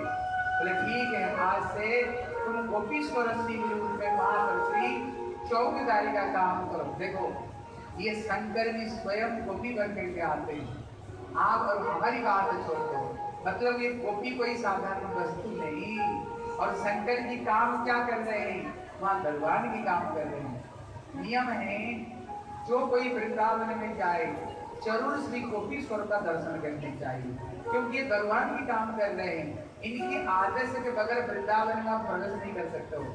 गोपीश्वर महादेव कौन कौन दर्शन किए हो? वृंदावन में गोपीश्वर महादेव कौन कौन दर्शन किए? हाँ जो नहीं देखे ना, जब जाओ ज़रूर श्री गोपेश्वर महादेव का दर्शन करना। बोले श्री गोपेश्वर महादेव की जय जय श्री हाँ, प्रभु जी एक सुंदर भजन सुना के हमारे जपी प्रभु जी किधर आ जाते जपी प्रभु किधर आ जाओ जल्दी आ जाओ। हाँ देखो इधर सुना। ये जो भागवत कथा है हमारे जेपी प्रभु के जो परिवार इनका जो भाई है लोग हैं और इनका कुछ दोस्त लोग हैं, इन लोगों ने मिल करके ये हर साल ये भागवत कथा को करवाते हैं।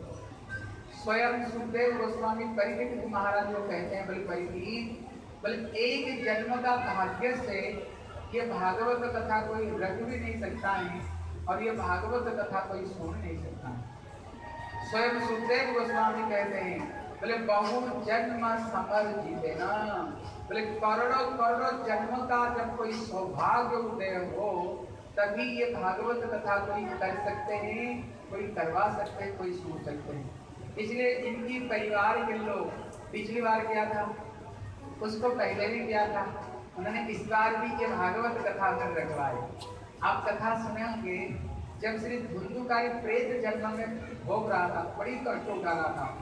किसी तरह से मुक्ति इसको नहीं मिली लेकिन जब उनके नाम पर गया मैं पिंडर दिया गोकर न देखा, फिर भूत पड़ के बड़ा बोले, तेरे नाम पर मैंने पिंडर दिया, तेरे को मुक्ति नहीं मिली। बोले, भैया, मेरे नाम पर सौ बार में पिंडर दोगे ना, मेरी मुक्ति नहीं हुई लेकिन इतने बड़े पापी को मुक्ति कैसे मिली? केवल भागवत कथा मतलब है, अगर किसी तरह से कोई के भागवत कथा में बैठ जाए, जितने जन्म जन्मांतर का हमारा पाप है क्लेश है, वो सारे खत्म हो जाते हैं। जब श्री परिणित महाराज कथा सुनते सुनते भूर भूग मोह जन तपलों को पार करते हुए वैकुंठ गए ब्रह्मा जी को बड़ा आश्चर्य लगा। बोले, भैया, इसने कुछ भी नहीं किया कथा ही केवल सुने उन्होंने एक तराजू लाए। तराजू का एक तरफ़ में उन्होंने सारे पुण्य को रख लिया, लेकिन तराजू का दूसरे तरफ़ में केवल भागवत कथा की महिमा होता, वो पत्थर के पत्थर जैसे जमा रहा। ब्रह्मा जी को पता चला, भैया, ये पृथ्वी का कोई भी दान पुण्य, इसलिए प्रभुपाद कहते हैं करोड़ों करोड़ों तुम अस्पताल खोल दो करोड़ों करोड़ों अन्न छत्र खोल दो करोड़ों करोड़ों तुम स्कूल, कॉलेज खोल दो उसमें जो पुण्य मिलेगी, अगर एक व्यक्ति को अगर प्रभु की भजन में तुमने लगा दिया तो उससे अनंत करोड़ गुण में ज़्यादा पुण्य मिलेगी। ये प्रभुपाद कहते हैं, बोले, क्यों? बोले, किसको औषध दे दिया? क्या बीमारी खत्म हो जाएगी? फिर बीमारी होगा। कपड़ा दे दिया, दो दिन कट जाएगी। कोई पढ़ा दिया, फिर जन्म जन्मांतर में से भटकता भटकता रहेगा ये माया संसार से निकल नहीं सकता।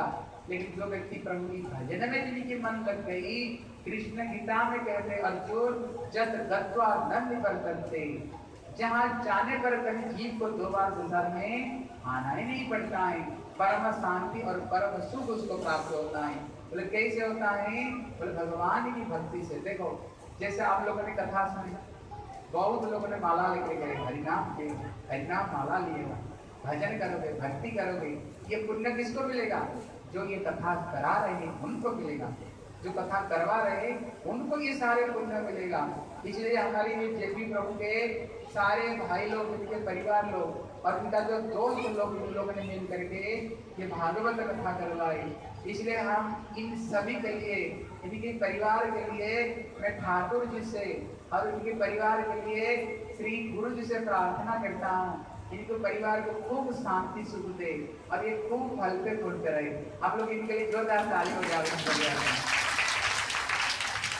हाँ देखो, इनकी जो पिता माता है ना, मैया बैठी हुई अब तुम्हारे प्रभु जी कहाँ गए?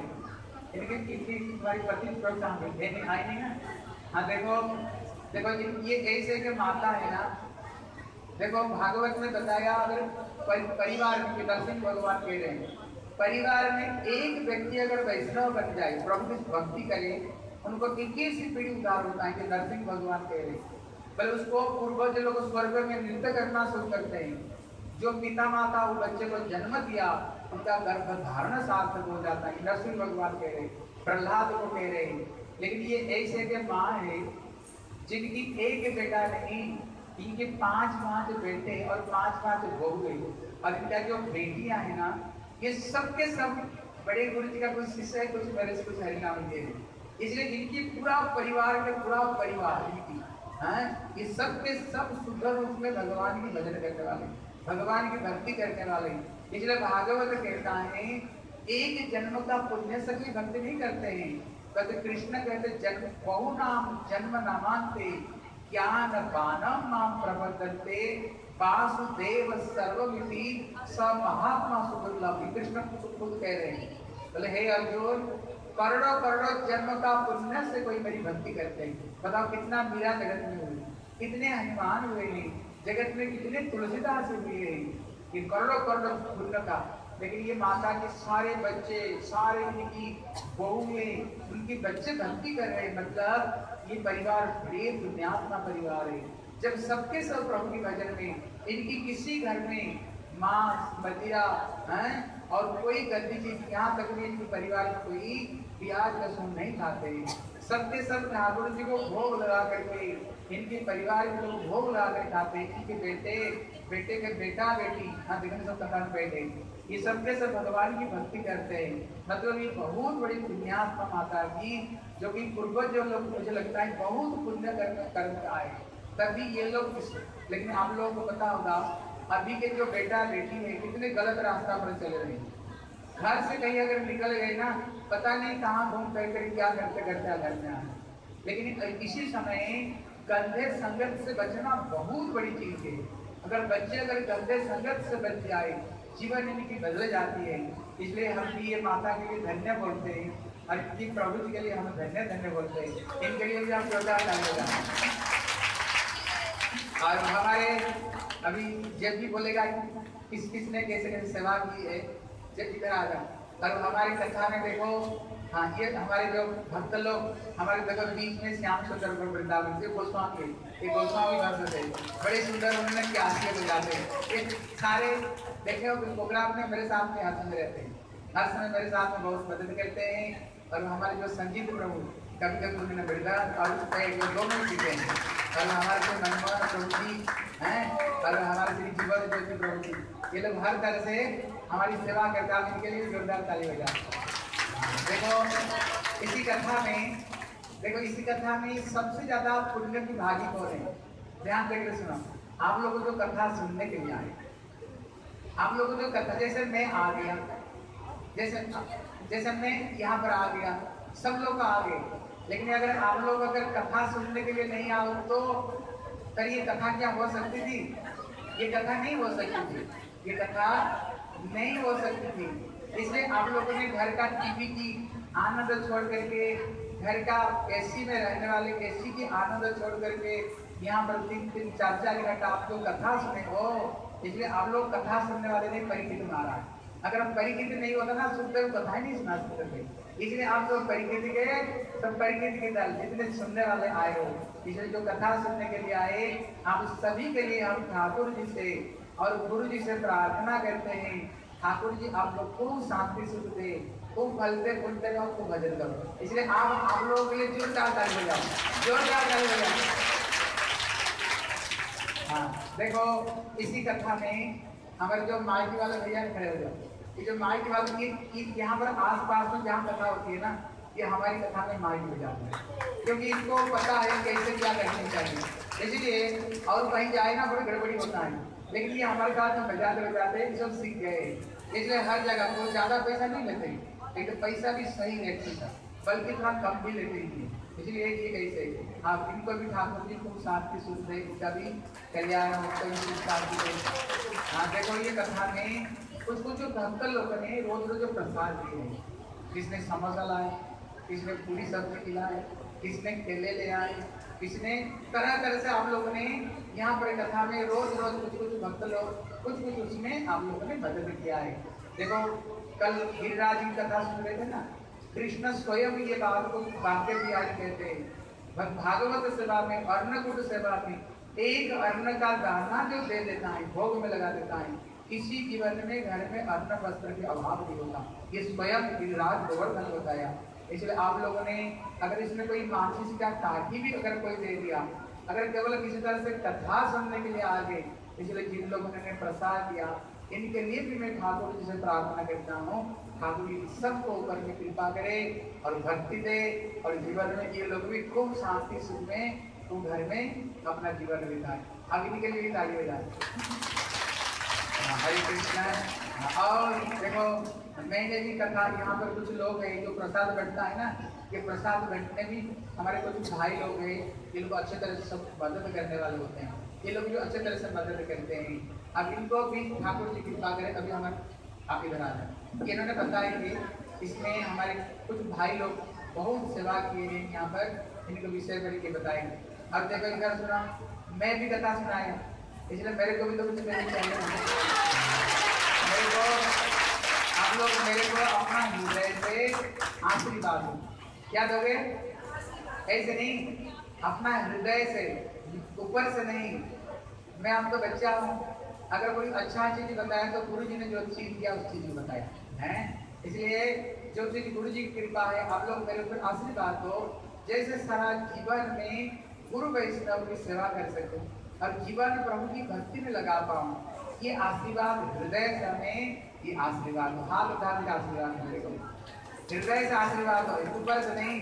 जैसे आप लोग का सेवा कर पाओ, गुरु वैष्णव की सेवा कर पाओ। एक बोलो अज्ञानतिमिरान्धास्य ज्ञानज्ञानशालाज्ञा चक्षुरुमिलितं येन तस्मै श्रीगुरुवे नमः।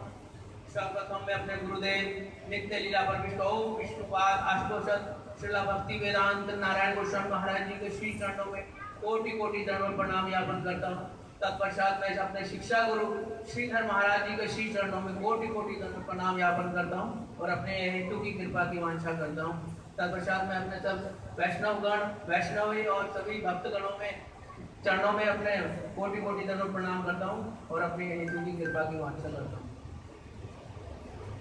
बोलो, वृंदावन बिहारी, लाल की बोलो वृंदावन बिहारी लाल की आज कथा का विश्राम का दिन है। सात दिन हम महाराज से कितना आनंद लूट रहे थे। आज मैं क्या रखा इतना आनंद आ रहा था कि अब जब महाराज जी जब जाते हैं तो हमें सात आठ दिन इतना महसूस होता है। अब महाराज जी को इतना मिस करते हैं। हमारा कब दिन होता है और कब रात हो जाती है। हम ऐसा यही हम सोचते हैं कि वैष्णवों की सेवा में हमारा पूरा दिन और पूरा रात बीत जाए। लेकिन जब ये दिन बार बार नहीं आता है हमें बड़ी मुश्किल से ये दिन मिलता है कि अपने वैष्णवों की सेवा करने के लिए। और वो देखो वैष्णव, क्या क्यों क्या है उनके पास? फिर भी हम जैसे जीवों का उद्धार करने के लिए, अपने एक एक पल को हमको देने के लिए आते हैं। अपने आप को किसी प्रकार से व्यक्ति, जीव, भजन करने लग जाए। लेकिन महाराज जी को क्या ज़रूरत है? वो वृंदावन में बैठ के अपना भजन कर सकते हैं, अपना उद्धार कर सकते हैं। लेकिन फिर भी हम जैसे अनर्थ जीवों के लिए आते हैं हमारा उद्धार करने के लिए और उनको हरिनाम दे के जाते हैं। लेकिन हम फिर भी कथा सुनते हैं और कुछ ही भक्त लोग उनकी शरण में आ पाते हैं। और जबकि महाराज जी चाहते हैं कि सभी व्यक्ति जीव हरि नाम करें और हरि नाम ही हमारे साथ जाएगा। तो मैं महाराज जी का हृदय से बड़ा ही आभारी हूँ कि वो अपना कीमती वक्त क्योंकि महाराज जी, ये कथा कहीं और करने जा रहे थे, लेकिन वीज़ा विदेश में जा रहे थे वीज़ा में कुछ गड़बड़ी होने की वजह से, वो तो महाराज जी ने वो समय हमें दिया। मैं महाराज जी का बहुत आभारी हूँ कि हमें वो समय हमें मिला।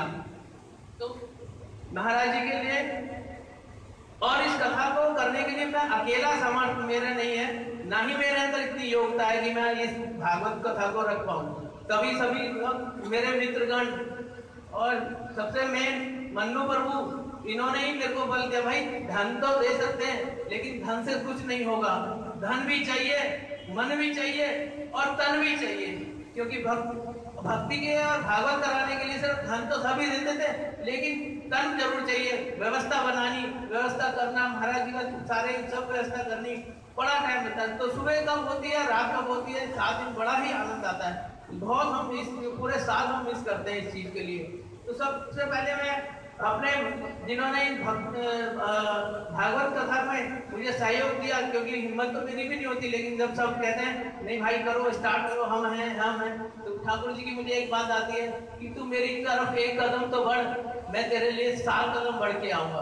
तो मेरा इतना सामर्थ्य नहीं था कि मैं इतने बड़े हॉल को करके, मैं इतनी बड़ी भागवत सब लेकिन मैं एक कदम बढ़ा, लेकिन भगवान ने मेरे साथ इतने हाथ जोड़ दिए।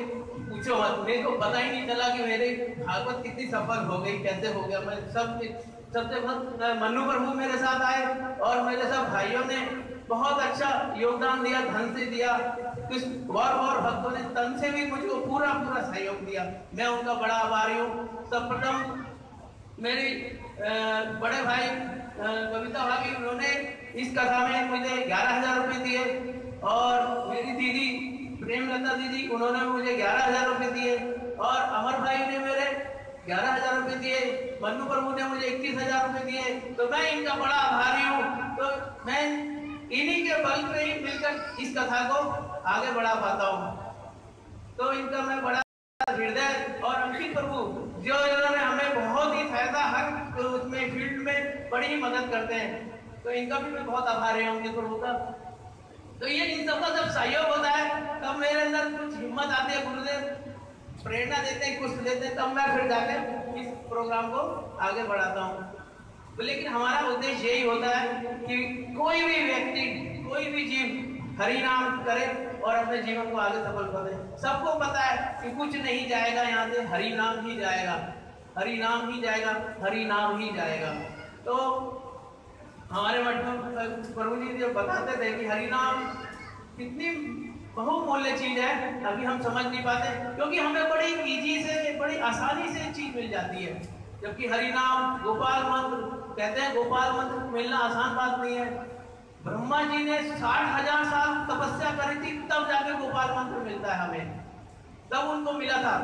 और हमें, हमारे गुरुदेव, हमारे शिक्षा गुरुदेव कितनी आसानी से हमें गोपाल मंत्र दे देते हैं। हम उस चीज़ को जब हमें चीज़ को आसानी से मिल जाती तो हम उसकी वैल्यू ही नहीं समझते। कि बड़े आसान, जब ब्रह्मा जी ने साठ हज़ार तपस्या कर, साठ हज़ार साल तपस्या करी, तब उनको ये गोपाल मंत्र मिला।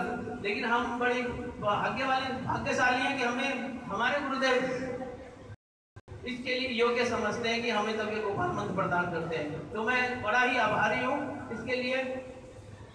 सभी भक्तजनों के चरणों में कोटि कोटि दंडों प्रणाम करता हूँ अपनी वाणी को यही समाप्त करता हूँ। हरे कृष्णा। देखो जैसे कृष्ण कहाँ पर गए थे? कृष्ण गए थे दुर्योधन के पास। गए थे कि नहीं? लेकिन दुर्योधन ने कृष्ण के लिए छापान भोग छत्री से व्यंजन की व्यवस्था की थी। लेकिन ठाकुर जी उस तरफ़ में देखे भी नहीं। वो देखे नहीं भी उस तरफ़ में। लेकिन विदुर जी को घर में जा करके ना ठाकुर जी केले का छिलका और साग भाजी खाए। मतलब क्या है? भगवान लक्ष्मी पति है। उनकी किसी जी का भी नहीं विश्व ब्रह्मांड माँ लक्ष्मी जी की चरण की सेवा करते हैं। लेकिन ठाकुर जी जिससे ग्रहण करते हैं ना, वही व्यक्ति ठाकुर को सेवा कर सकते हैं। इसलिए ठाकुर जी जिनसे ग्रहण करते हैं, वो लोग बड़े सौभाग्यवान हैं। इसलिए जिन लोगों ने ये भागवत कथा में किसी ना किसी तरह से मदद किया है, हम ठाकुर से प्रार्थना करते हैं। ठाकुर जी तो सबको ऊपर आशीर्वाद करें। अभी प्रभु जी आपको सुंदर भजन सुनाएँगे। रासलीला की भजन, कैसे गोपियाँ मिल करके नृत्य कर रही हैं। इसलिए आप लोग भी सबके सब मिलकर नृत्य करना। बोलिए रास बिहारी जय जय